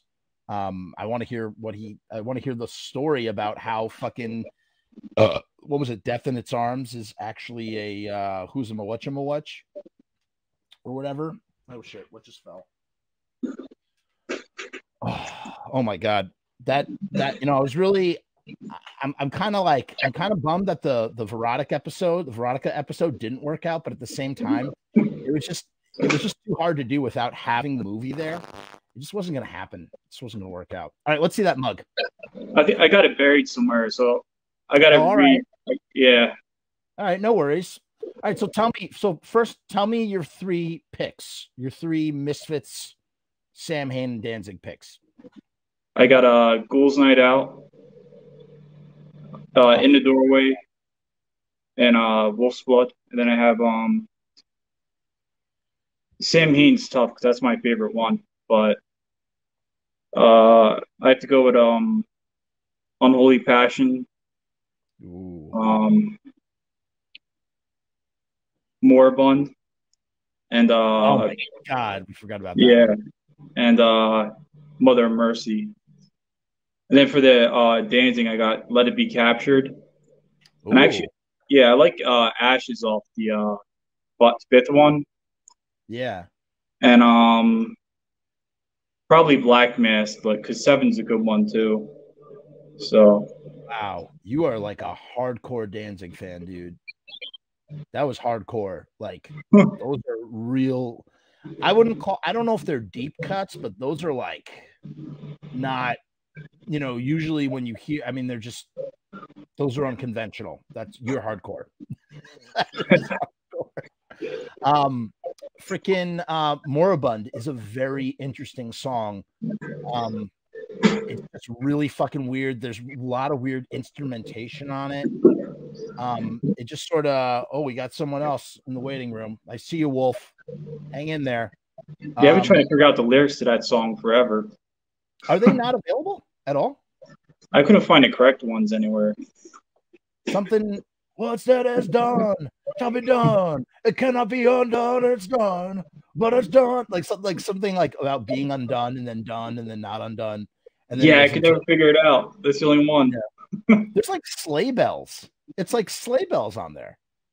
Yeah, it's uh, it's like really weird guitar chords or something.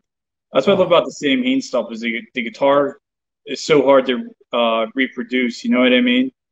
Do you play Like- guitar? Oh yes. So, So- tell me why. Explain from a from a guitar player's perspective. Explain why those those chords are hard to replicate. Uh, like November's Fire. I I just I don't know.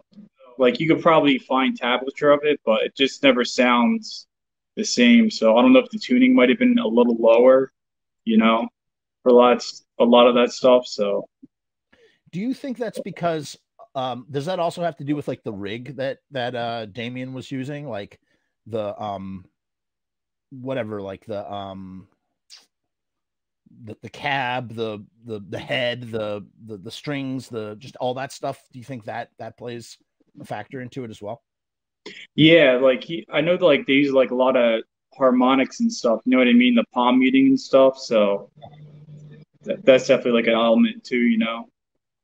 And you know what's great on some of that later Samhain stuff?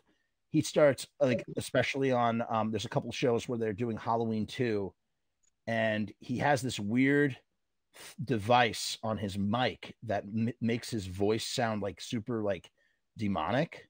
Oh, the harmonizer. Is that what it is? It's a harmonizer. Yeah. Holy crap, that thing is nuts. Such an interesting choice um to use live because he doesn't really use it in the studio in that kind of way. You know, I don't know.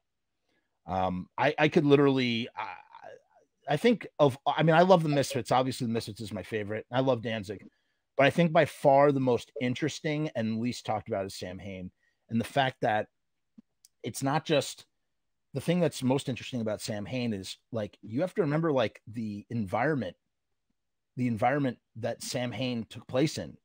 Like it's just, you know, the underground hardcore punk scene. You know, like they're not playing with they're not playing with death rock bands. They're not playing with goth bands. They're playing with hardcore bands. What a weird band to be mixed in with all those other bands. Yeah. So I don't know. But listen, it's really nice to meet you, Pete. Thanks for coming on. I'm hoping to like make this more of a habit in the future to try and like, you know, open up the conversation. Really glad you, you came on and everything. Uh, and I hope you'll come on again in the future. Okay. Yeah. Cool, man. Thanks. Cool. Very nice to virtually meet you. You Peace too. And air grease. Okay. Up next, we have Wolf. I don't know who this is. Wolf. Hey man, can you hear me? Oh shit. Is this the dude from fucking New Zealand? yeah, man. Oh, we have a caller all the way from New Zealand. I've, I'm actually in Australia at the moment. I'm from New Zealand originally, but I'm actually in New South Wales, Australia at the moment. All right, this is super freaking cool. Thank you, Wolf, for joining us. Cool, man. Yeah, my name's actually Pat. Hi, Pat. I'm gonna call you Yeah, Pat yeah. Wolf. Yeah, yeah, cool, man. Um, so you, so Pat, you, your friends, your friends' band, Hate Breeders, was a Misfits Yeah. tribute band. I've, I've heard the story and I've seen the pictures. Have you really? Who told you? What do you mean? Who? This is like a famous story. Oh no, is it really? I mean, like this is like a known thing. Yeah, those pictures have been around forever. They're, Yeah, they only played New Zealand one time, right? Yeah, yeah, '93. I think it was a Demon Sweat tour. I think. Yeah, Yeah, and they it was a tiny stage that they did those songs with that with the band. Yeah. It a- yeah. It was a it was a bar called Bob's Bar at, at a hotel called Hotel de Brett. Yeah. Mhm. Um, and I wasn't I wasn't there. I met them a few years later. Um, Gotcha. maybe two or three years later. So, but I'm good friends with um, the bassist, the guy who was the bassist for the Hate Breeders, and I've just messaged him just recently because we've actually fallen out of contact um, to Mhm. find out some detail or maybe get him um, on there so you can hear the full story because it's an amazing story. Um, I'm interested in love what that. you know about it. Okay, well, I will tell you what I know about it, but before I do, I don't really know that much apart from what you really said, but Hmm. I would love to actually talk to those dudes. So if you could Yeah. put me in touch with them or get them in, on, on involved, For Wolf, sure. I Yeah, yeah. that. If you want to hear the full episode of tonight, it's going to be on YouTube because you said Cool, man. Yeah, yeah. or whatever. What I know, I I've seen the pho- the photos posted. I don't know, maybe it was one of one of those band members who posted those photos. I remember Glenn is wearing like a black long black turtleneck or something. Yeah. And they got up on a tiny stage. They borrowed their gear and they they played because I think what ha- I think the, the the the gist of the story is, and I really I hope that your friends could provide a, a shitload of more deep, like you could really sit back and Yeah, yeah. Um, but the the gist of the story is that yeah, they're in a cover band. Glenn heard that they had nothing to do that night in Auckland. It was just nothing for them to really do. So they went down, they checked out, they checked them out or something, and then Yep. they got up and said and said, here's how it's really done or something like that. Yeah, yeah. I, I want to get the detail. I can't remember. I know they've told me the story, and I've heard multiple versions of it. Um, they were in various states of inebriation at the time, so Ah. it does vary just a little bit. But I want to know what songs they played. They did tell me, but I cannot for the life of me remember. Um, Hmm. and from what I understand, It was, was, it the manager, Danzig's manager? I think was the one that heard, um, and he was the one who told them about it, who took them down. Yeah, yeah, yeah. Um, but I'd love to get info. Yeah, yeah, like the full info because it's it was. I remember it being an amazing story. I mean, they told me Mhm. this story twenty years ago, so um, you know, it's all almost yeah. Um, Alberto, who was just on our show, says Glenn mentioned that they were not playing the songs right, so Glenn and Eerie kicked them off and played the songs. Uh, that sounds about what I heard. Yeah, yeah, yeah, yeah. Um, I, I want to know what the song was. I can't remember, but I, look, I'll contact him and, and get some Yeah. some real juice for you because um, Would love that. um, it's a- it's a great story. And um, but yeah, I'd like to get him sober. So Yeah. um, but there's quite a few fiends that are around who were in the crowd that night, and the guy I spoke to the guy, messaged him on Messenger once, who took those photos that you probably Hmm. saw. Yeah. and what yeah. did he did he say anything in particular that you remember? Or What's that? Sorry. uh, that guy told you anything? Any sort of interesting details that you? Um, no, it was more about who was there. I was trying to establish who he was and and what how he managed to get there and what the vibe was like because you know like the Breeders they were good man they were really good and I actually went with them to a show in Melbourne in 1999 and I travelled from New South Wales down to Melbourne. I got up on stage with them. Um, and um, we all painted up our face and stuff like that. It was fucking insane. Um, and um, they were really good. And the lead singer, it was his project, extremely passionate about the Misfits. Um, and he sounds a lot like Danzig. Um, and he's a big Elvis fan. And um, he was the one that kind of got me into the Misfits. So, but I have fallen out of touch with him. So I would really like to contact him and, and kind of get some more info. But they were the real deal. They used to do Halloween every year for at least a dozen years. And they would play in various locations until that one year in 99 where they traveled from New Zealand to Melbourne to do a one, sh- one-off show. Um, and I was with them the whole weekend, the build up to the show. I was with them in, in practice and everything like that. And they were good, man. They were good. They were really passionate. Yeah.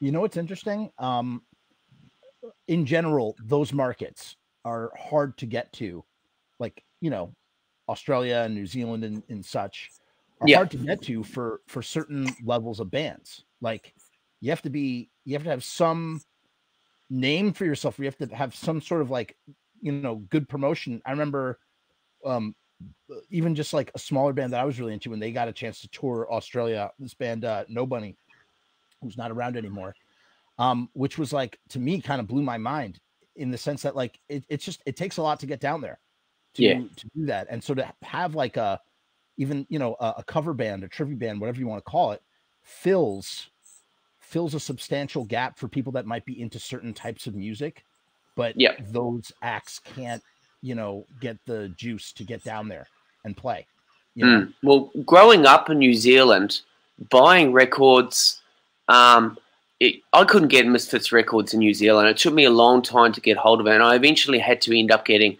secondhand ones. To, to buy an import back in the 80s, mid to late 80s, I was paying $50, $60 New Zealand back then oh for a brand new record, which was a lot of money.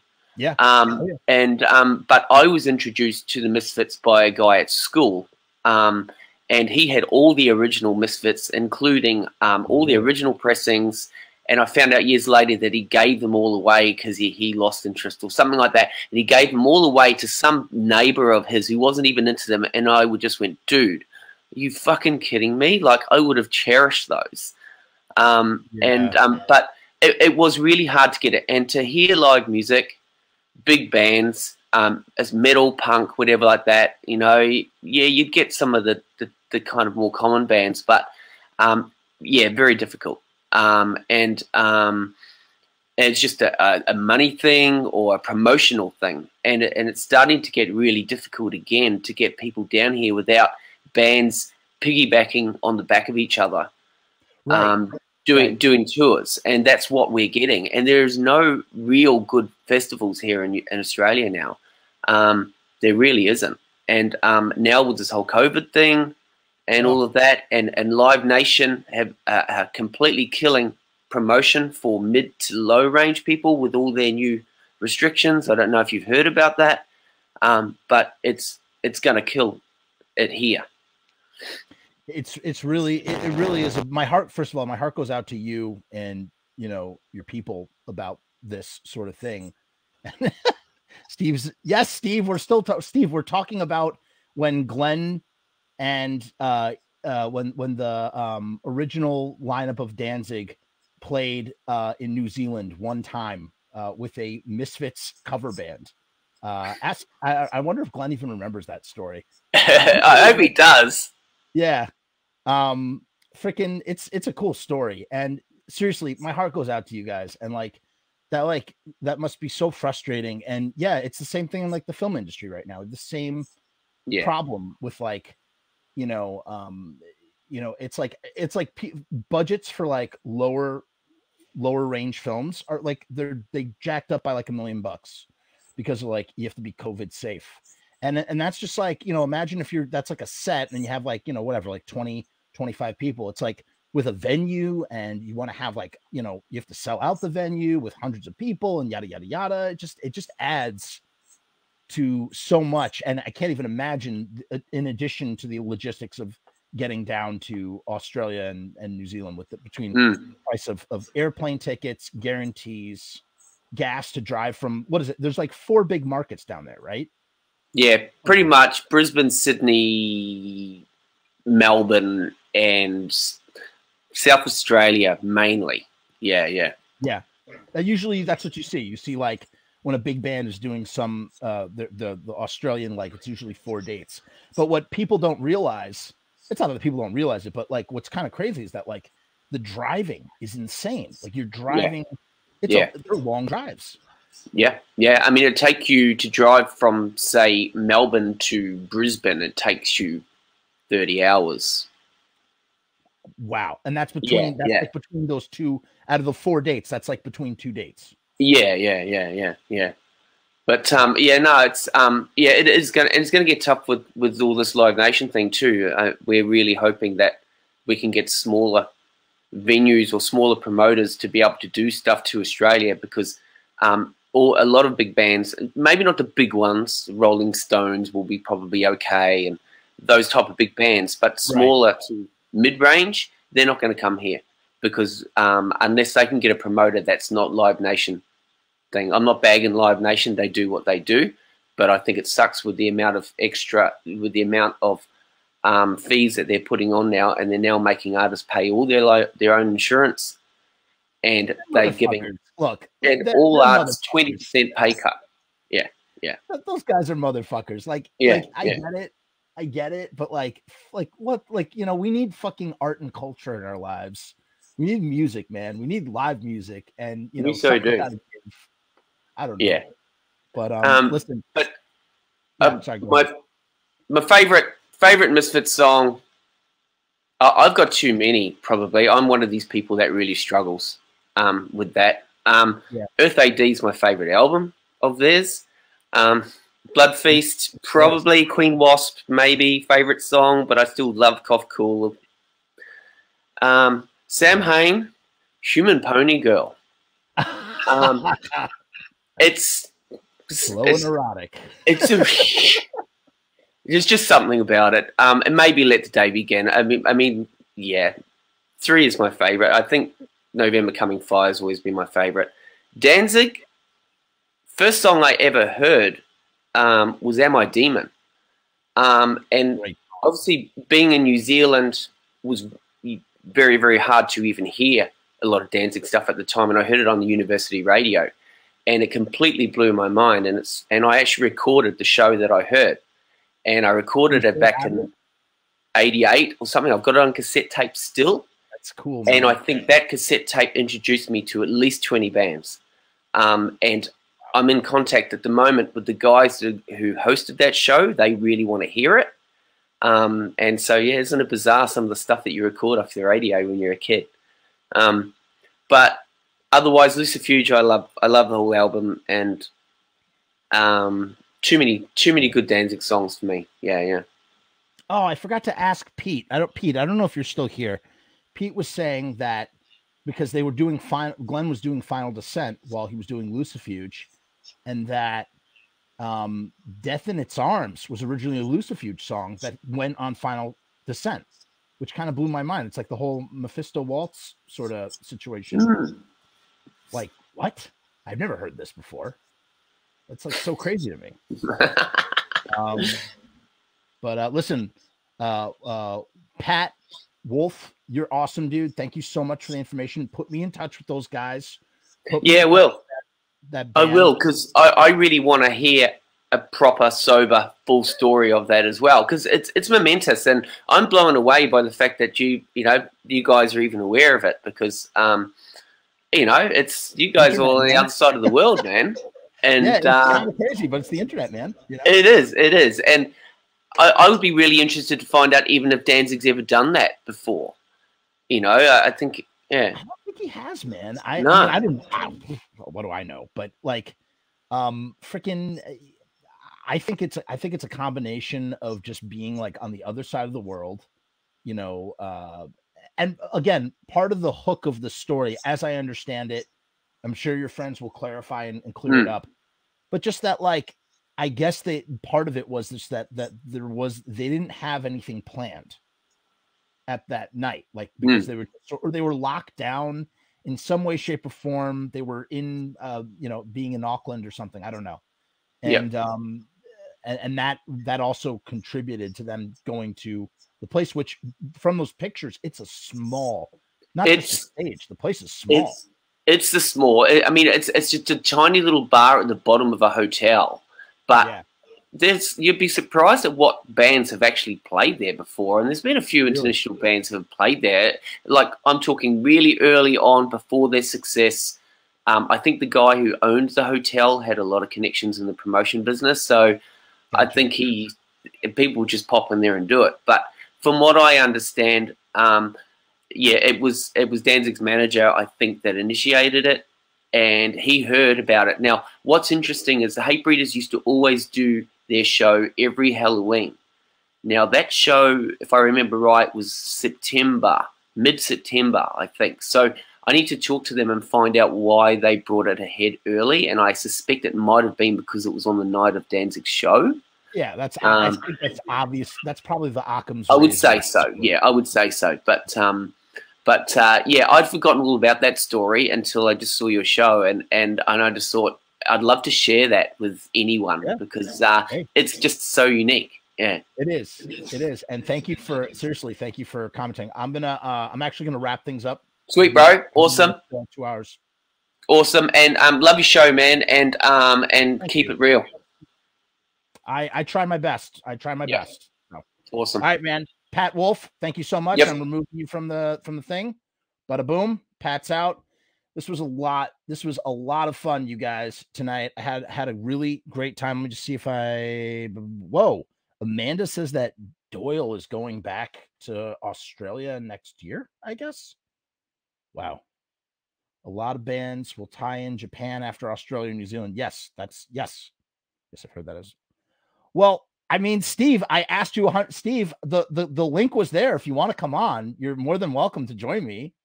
I mean, I, I'm not gonna, uh, uh, I'm not, I'm not here. Here, here's the link, Steve. Steve, I'm putting the link in the thing. There you go. And say hello. I'm waiting. I want to hear Steve Zing's favorite Samhain, Misfits, and Danzig songs. Yes. Yes. Steve Zing.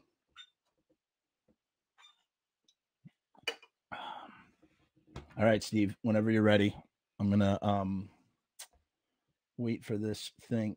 He's coming. He's co- I just sent you the link, Steve. Steve, I'm going to hold on. Uh, how can I send this to you, Steve? I would text it to you, but I don't. Hold on. One second, Steve. It was in the comment box, but you must have missed it. Here, I'm gonna uh, send this to you via Facebook Messenger. Oh, this is what a treat! What a treat! He's probably gonna make fun of my singing. All right, there it is. Steve, I just sent it via Facebook Messenger.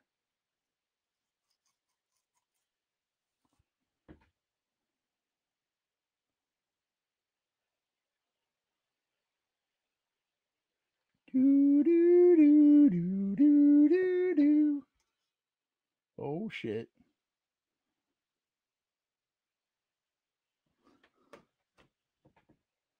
Oh, there he is. What's up? Yo, hiding in the shadows. How you doing? I'm I just got to Nashville this afternoon and I'm sitting here watching Shark Tank. Ah, okay, okay. Yeah, man, you do a lot of flying. Yeah, it's not bad.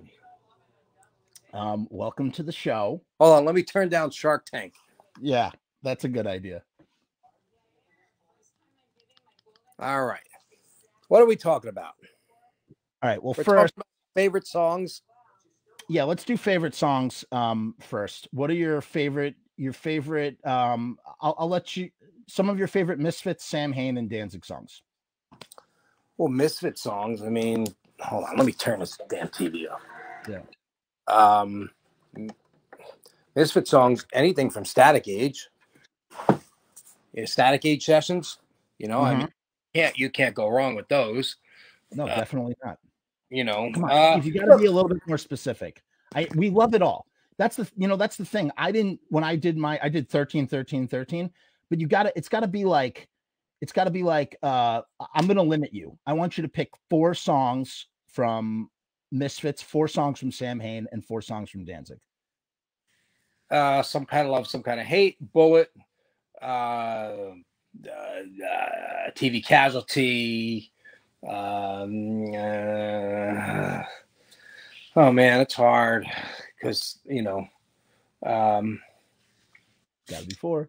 I guess I'm trying to think what I what I, well. There's the original Teenagers from Mars, so yeah, okay, yeah. Do you prefer that? You prefer the original Teenagers from Mars to the horror business one? I do because that's how I remember them practicing it. Oh, so you remember them practicing it really slow. Yeah. I just like it. I like it fast, and I like all the whatever. I don't know what they're doing on there. The you know, like the the weird in the background. the- screams. yeah, Yeah. Yeah. Yeah. that, that, that that does it for me.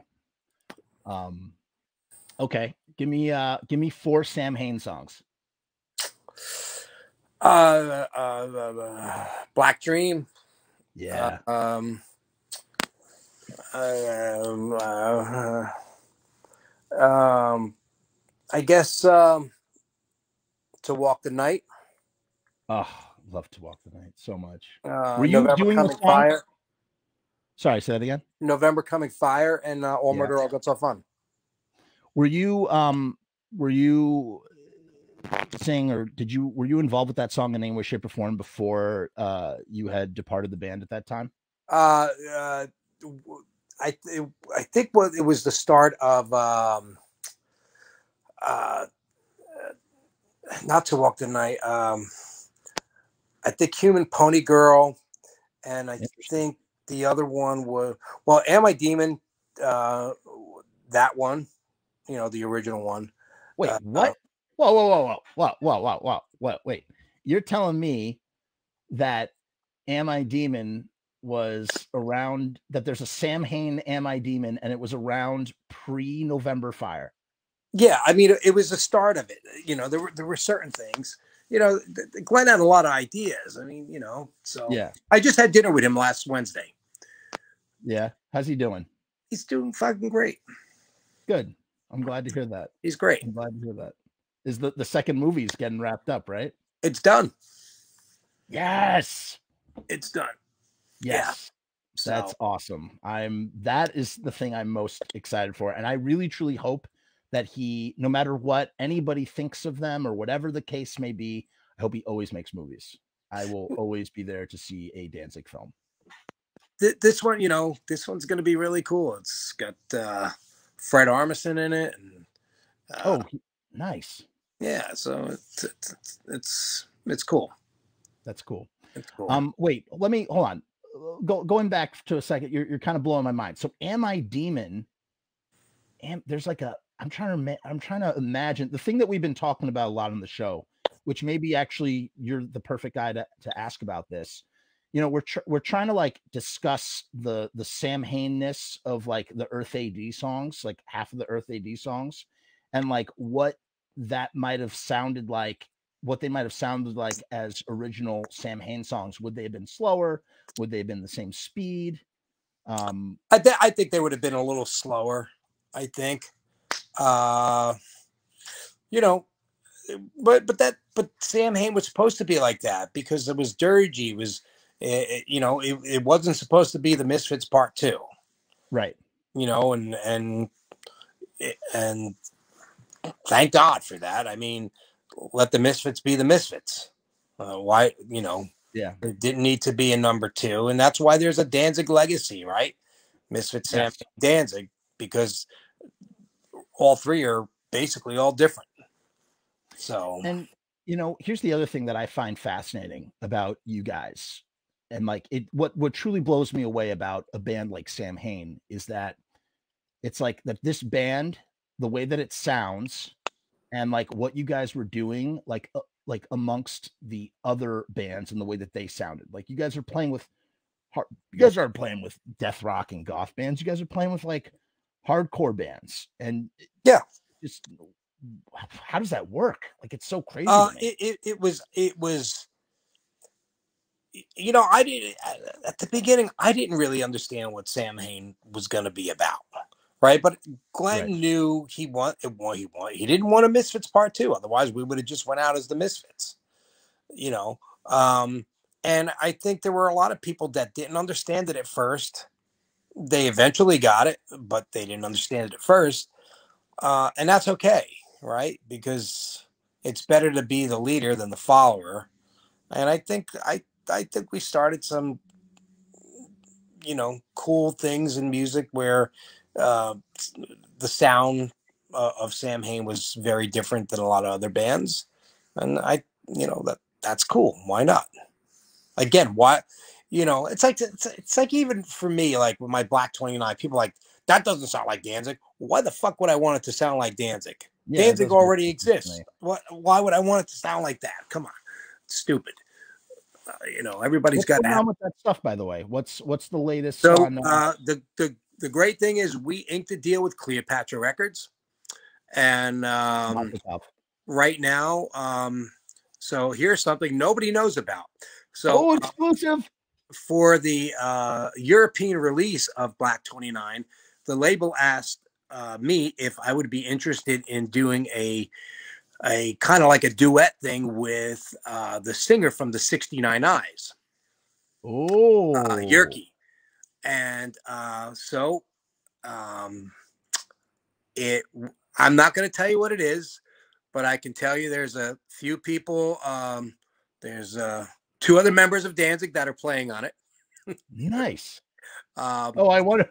Hmm, I wonder who those be. and um, uh, I should say current members. Um, and uh, so right now, um, uh, it those that stuff's being worked on. I got the drum tracks already, the guitar tracks Tommy's working on, and uh, vocals are done on my side. I sent them to uh, uh, Jyrki last week, and he's working on his, and it's going to be interesting. I'm not going to tell you the song. It's a song from the '70s, but it was like one of my all-time favorite songs, like when I was a kid, and it's it's pretty cool. Is it um? Are are you faithful to the song, or is it more like uh heavy? What you guys are doing? Uh, it made it made it heavy. You know, That's why not? Why not? As a matter of fact, you know, I I there's a there's a strong contingent out there amongst amongst us, you know, uh nerds who really love the uh the single that you put out. This just the Steve Zing you know, um, uh, friggin' what's it called? Uh, Runaway single. Oh my god, that you know that was I I recorded that in 1983 or 84. but it's super like I mean, with the chimes or whatever you're doing on there, it's super gothy. I like try to imagine what a full I try to imagine what a like a full album of that stuff, like whatever else. Like I try to imagine like both whether you're doing covers or like original Steve Zing songs or whatever the hell you would be making in that vein, like that. I kind of wish we had that album, you know, Uh, and we never got it. That that was that was that was a time, you know, and everything Yeah. has a time and place. Yeah. But Yeah. I, I I got to tell you, I'm like I'm really happy with the new Black 29 stuff, and so the label has everything, and and actually Great. now all I need is artwork, and uh, so Beautiful. I I got to get some some cool people out there to submit some art.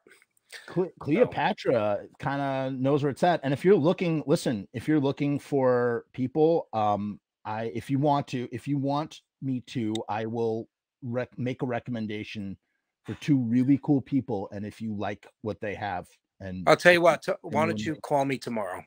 Okay. I will absolutely do that because I think I, if you really are looking for art, I know people that are really fucking some really cool people that would friggin' Cool. do a great Yeah, job Call me tomorrow. I will. But yeah, so um, so now let's see. Um, what So what other songs are we? What other songs are we talking about? I want to hear four four Danzig songs now. All right. Um, I would have to say "Godless," Yes. um, "Soul on Fire." okay. Um, uh, it's hard because they're, they're, you know there's a lot of cool songs. Uh, "Pain is like an animal." Okay. Okay. Wow. That's one that that's something I haven't heard in a long time. Uh, and um, um,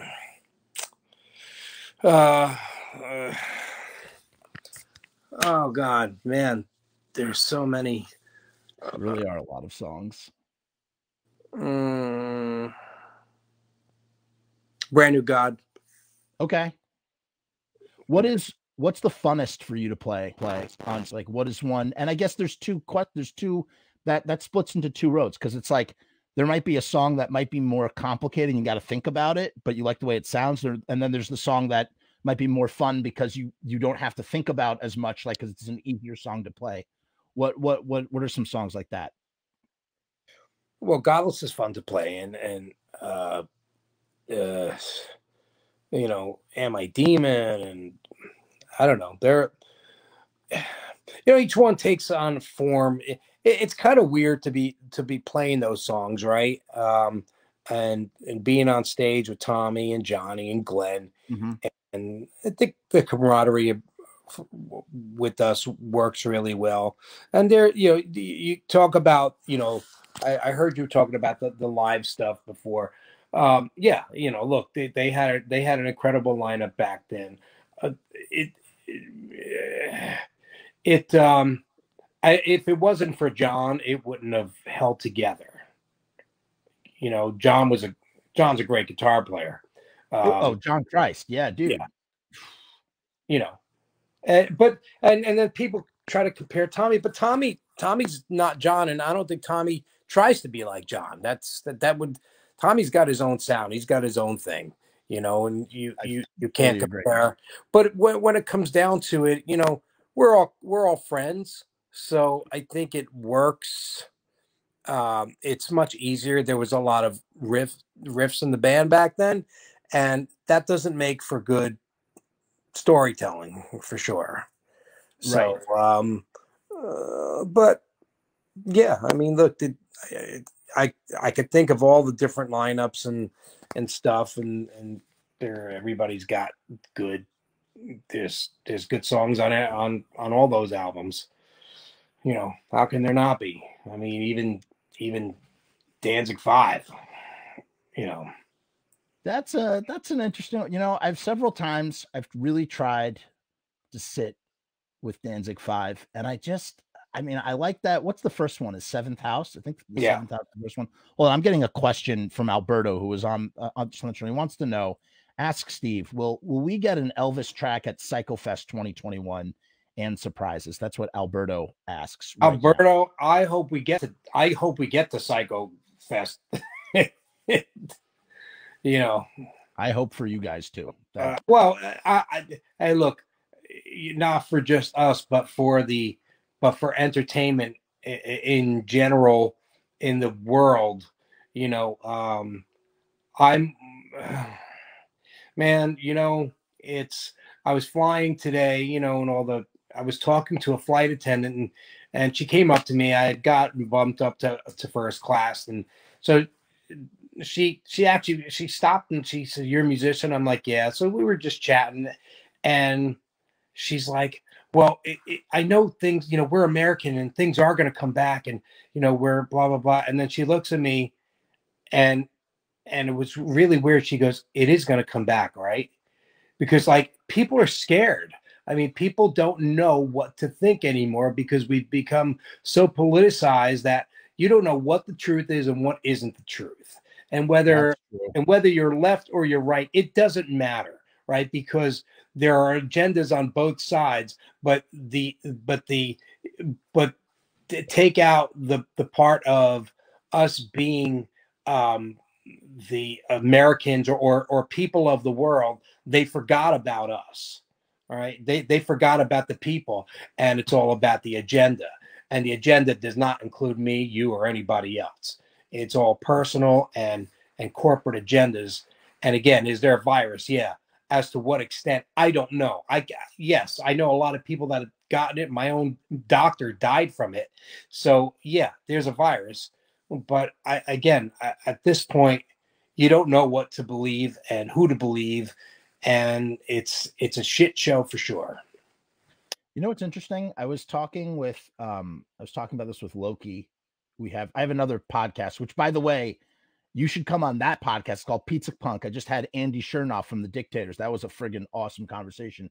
We were talking, Loki and I were talking about the future of live music and how that's what that's going to look like and how that works and like how can a band I mean, obviously not a band like Danzig, like a band like uh, at a much, much, much lower level that you know maybe is doing like super, like going the super indie route. Like, is there a way for for for that kind of band to tour? You, you know again you know everybody's is waiting for this magic um um potion that they're going to come out with this vaccine. You know maybe that'll work. I don't know. I would never take it because i don't even take the regular flu shot because i don't believe in that shit as far as putting stuff in your body. You don't even know what the hell's going in you you know? So i'm very leery of that stuff and especially a vaccine that they're going to make in a matter of months I'm um not sure that's the solution, to be honest with you. Well, it- vaccine. but you know is the solution masks? I don't know. I mean you you- you can't function with a mask on. It doesn't work. You know um are people going to get sick? Yeah but at some point you got to have herd immunity. I mean the spanish flu disappeared within 12 months people had herd immunity it went away so so you have to think now you know is this something more because they keep referring to it like the Spanish flu. Is it something more that we don't know about that they're not telling us? Who knows? I don't know. I don't. Nobody knows, and if they do know, they're not telling us. So, um, Well, but the thing that's interesting about live live venues in particular, uh, the thing that I'm wondering is like, what kind of liability is there? Liability? What kind of liability liabilities does a live venue or the band itself, the band have liability? Like how? Like where? Like there's so much red tape. like, well, of like just just just in general, when we go on tour, right? Yeah. we have to have insurance as a band per Right. show, right? Right. Somebody Right. gets hurt, it has nothing to do with the band. Who do they sue? They start. Right. They sue the venue. They sue the band. Um, so there's all kinds of crap that goes. People think you just go on tour and they you book a show and that's it. There's a lot more to it than that, and that's why ticket prices are the way they are because the expense of touring is is is astronomical. You know, you Yeah. got things like tour buses. And so you go, you get tour bus. Well, a tour bus is eight hundred to a thousand dollars a day. Then you have fuel. Then you have the driver, right? The fuel is insane. well, the fuel that and and there's insane. you know there's tolls, there's taxes, and Yeah. there's the driver, and the driver makes a good amount of money as he should because he's driving the band. keeping right. everybody safe. Right, exactly. So there's there's a lot of different things involved that a lot of people don't understand, and there's a lot of hands in the pot, right? Right. So I'm um, you got management, business managers, um, uh, uh, legal. So there's all kinds of people that get the money before you do, and but that's just part of the business. That doesn't matter with with this whole thing. I don't know. Um, I think it's going to be interesting to see what happens and I'm hoping that after the election, um, that it starts going away or becoming, you know, it's going to be a shit show for a while, that's for sure. But um, whoever the Well, time will tell. That's for certain. I mean, we are literally on the cusp. I I told you privately my thoughts about civil war and whatnot. I Well, think like I don't know we're what's there, happen. Yeah, we're there, It's scary. um, and but there's too many outside influences outside this country, and that's the problem. You know, that's the problem, and I don't know. Look, sometimes you just have to put your head down and and and go forward and and not try to think too much because you got to understand something, Jeff. This shit has been going on forever. Right, it's just really to the forefront now because the guy in charge tells a really good story right now. He's really good at it. And I don't care. I, I have no, I don't care if you're left or right. It doesn't bother me. It's, it is what it is. It's politics and, and politics are, are dirty. You know, it's no different than the mafia. All right. So, uh, but it doesn't Well, I'll matter. tell you two things. Two things. Thing number one, I will say this: the thing that the biggest notion that I have taken away from this particular election, as opposed to previous elections, is the one thing that does give me fatigue is like that both the, the two party system is a status quo where like all the problems that you know some of the problems that are blamed on the current current administration have existed before the current administration and will probably exist after the current administration and it's partially because of the system. That's These are- number one. the problems that have always been here and will always be here and it doesn't matter who's in charge because again they're it, it- it's not it doesn't have to do with me or you. It has to do with agendas and agendas are are it's eh, are financial. They're they're all financial agendas. They're not it has nothing to do with anything but financial agendas. And if we can all stop saying the left is right and the and the right is wrong and, and, and vice versa and we can figure out that hey they failed every single person in this country. All right? Hell look at it like this say you're an average person right with an average moderate income of let's call it 50 or 60 thousand dollars and you're you come out of college right with student debt and maybe you're living in an apartment by yourself or with a roommate and you have uh, rent you have cell phone you have um, your your student loans and maybe a car payment and now you lost your job all right? And if they're Mhm. private loans you still owe money. They don't care. They're not that's not being furloughed those payments. So now you get your $1200 from the government. And after you spend your $1200 on a said rent or car payment and or you know uh, student loans and maybe food or maybe utilities uh, then what? Okay so you're getting unemployment but then when that extra ran out there was no rush and there's still no rush to get anybody else anything different. So wh- what is that saying? You know you know people uh, talk about they don't want socialism. Well what is socialism? It's exactly what we're in right now. Police are socialism. Schools are socialism. Relying on the government for help is socialism. So tell me tell me we're not a socialist country right Tell me. I, I mean, uh, I, suddenly there's a socialist boogeyman out there out, out of nowhere. Like all of a sudden it's just like, oh, the socialism's gonna get. It's like all this shit is socialist. well, of course it is, and it's all smoke and mirrors.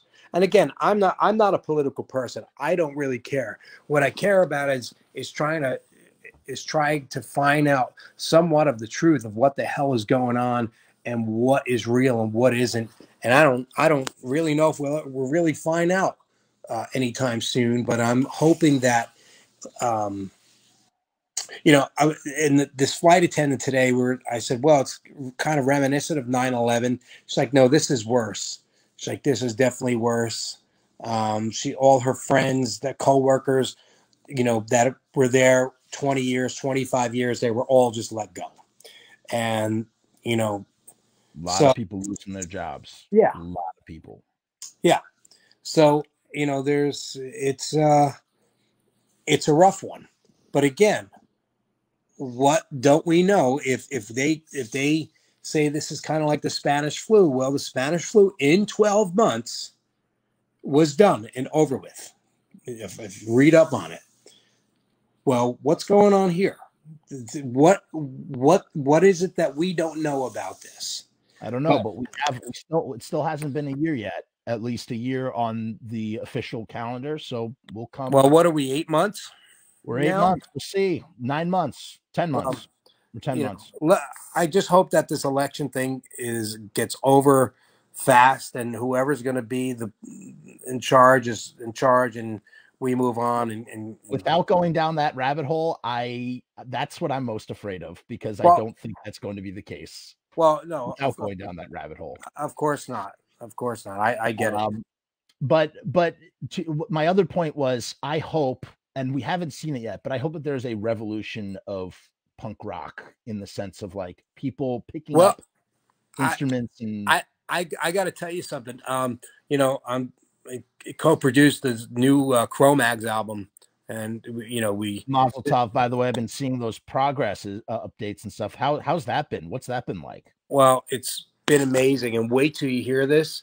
And Yes. I, I don't want to release information yet, but it's pretty cool, and it's um, what he wrote and stuff is is so spot on for what's going on. Uh, but it and there's just by coincidence, you, you'll see. I can't. I don't want to release the No, no, I understand. I, respect but that. But it's tell uh, me, tell me this. Tell me this. As uh, because you're you're a co-producer, so like, what is that like? How, how does that all work? You come, they, you have a new, you have a studio, Trick or Treat Studios, right? That's what Yes. it's called. Do you have a studio? They come in and and you uh, you're engineering the session, but you're also like, uh, what do you like? Help with like, say, like trying to find like the right kind of sound, or like what? well, is it's the sound. It's it's it's kind of guiding him like vocally and and things and and um, just you know trying to figure out heads and heads or tails on what's going on. And between myself and this other guy, Arthur Rizk, uh, who uh, produced Power Trip and bands like that, um, we've both been working on it, and uh, it's uh, it's really good. It's it's been a blast. You know, Harley's a great friend, and uh, it's it's really I'm really uh, honored to be part of what he's coming out with.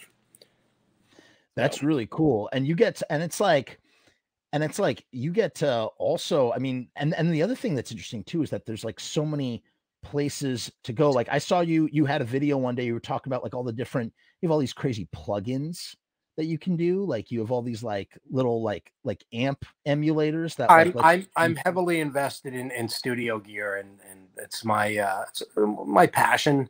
Uh, uh, it's I, since I was a little kid, but uh, it's been uh, you know it, it's been quite an investment. And moving to this new house has been great.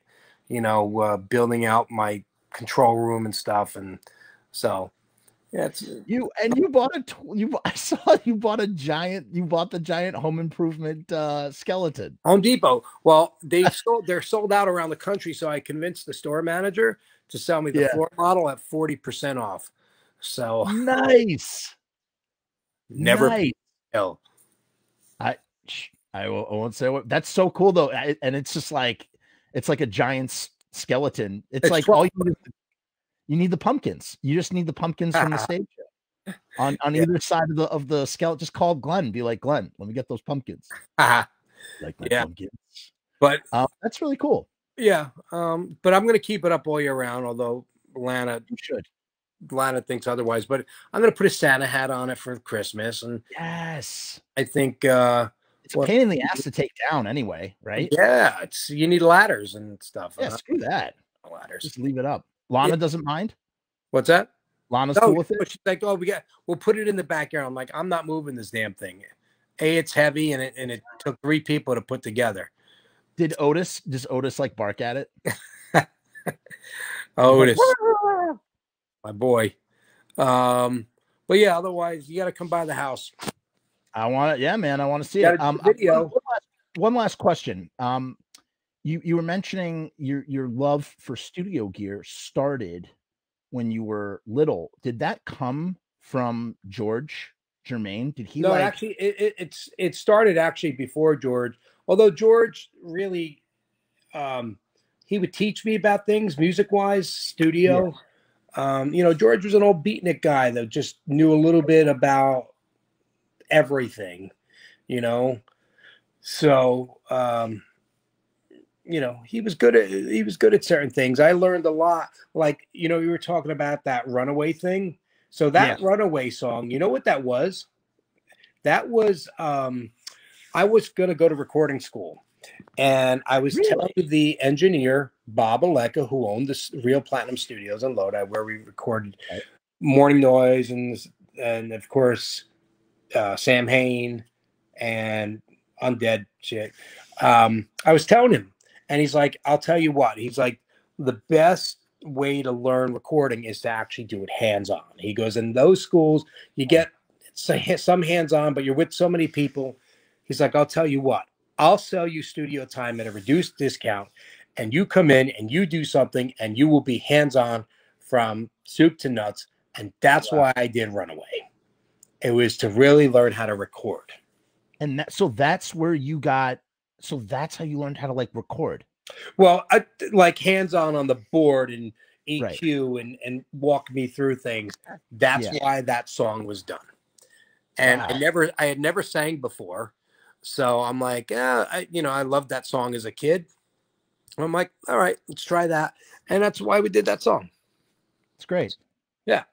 Great.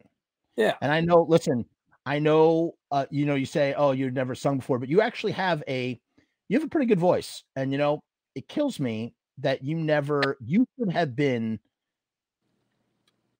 I'm just saying you should utilize it. You should have utilized it more in the past. Let's put it that way. Uh, that's what I'm going to say about that. Wait till you hear the new Black Twenty Nine album. Okay. I'm excited. I'm, I'm very, I, excited. am, you know what, I am too. Not because it's my stuff, um, but I'm, I'm, you know, I actually like it. You know, when I can listen over to it over and over, I'm like, yeah, it's pretty cool.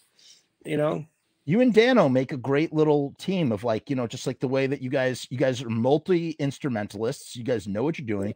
You got the engineering stuff. It's like it, it makes so much sense. well, Yeah. it, it, it works because I come from a simplistic background of, you know, verse, chorus, verse, bridge, chorus, get the fuck out, and he comes from a very um, prog type background.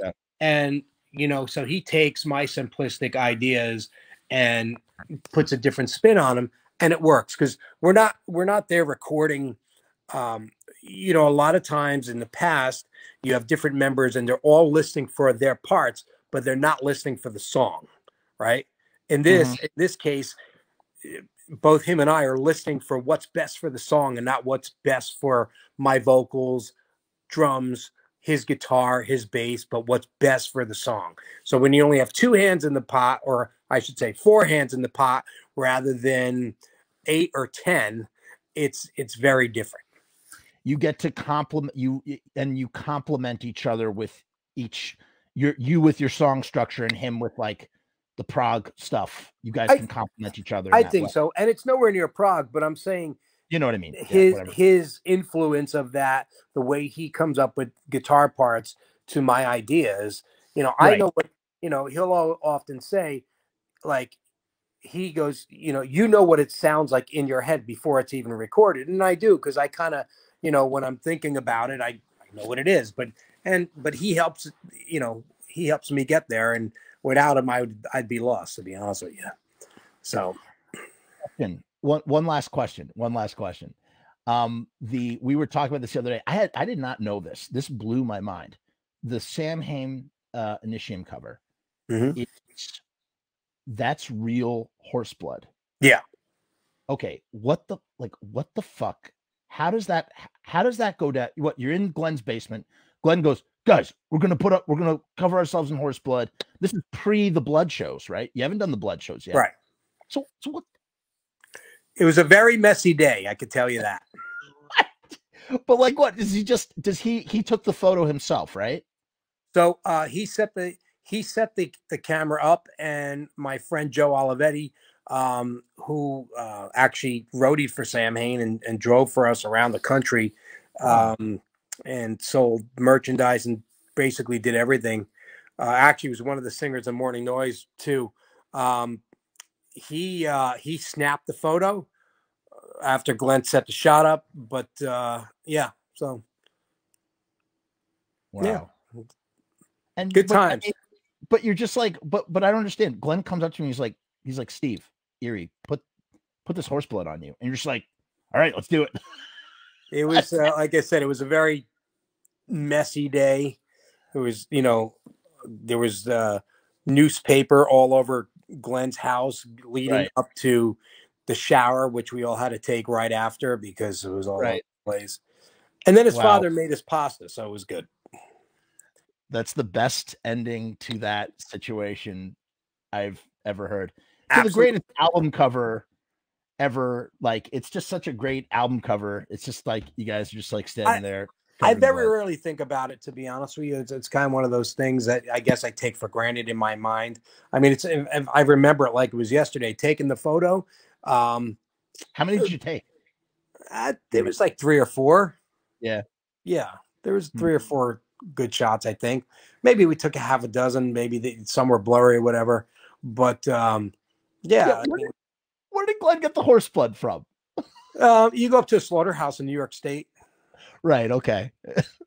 That's so much less exciting than what I thought in my mind, but that makes sense. Yeah, you just go to a slaughterhouse. Well, Hey, Glenn, you, you, do know Glenn loves animals and would never hurt an animal. of course, no, of course, I do know that. That it's not his thing. Yeah, I he likes animals more than he likes people. That's for sure.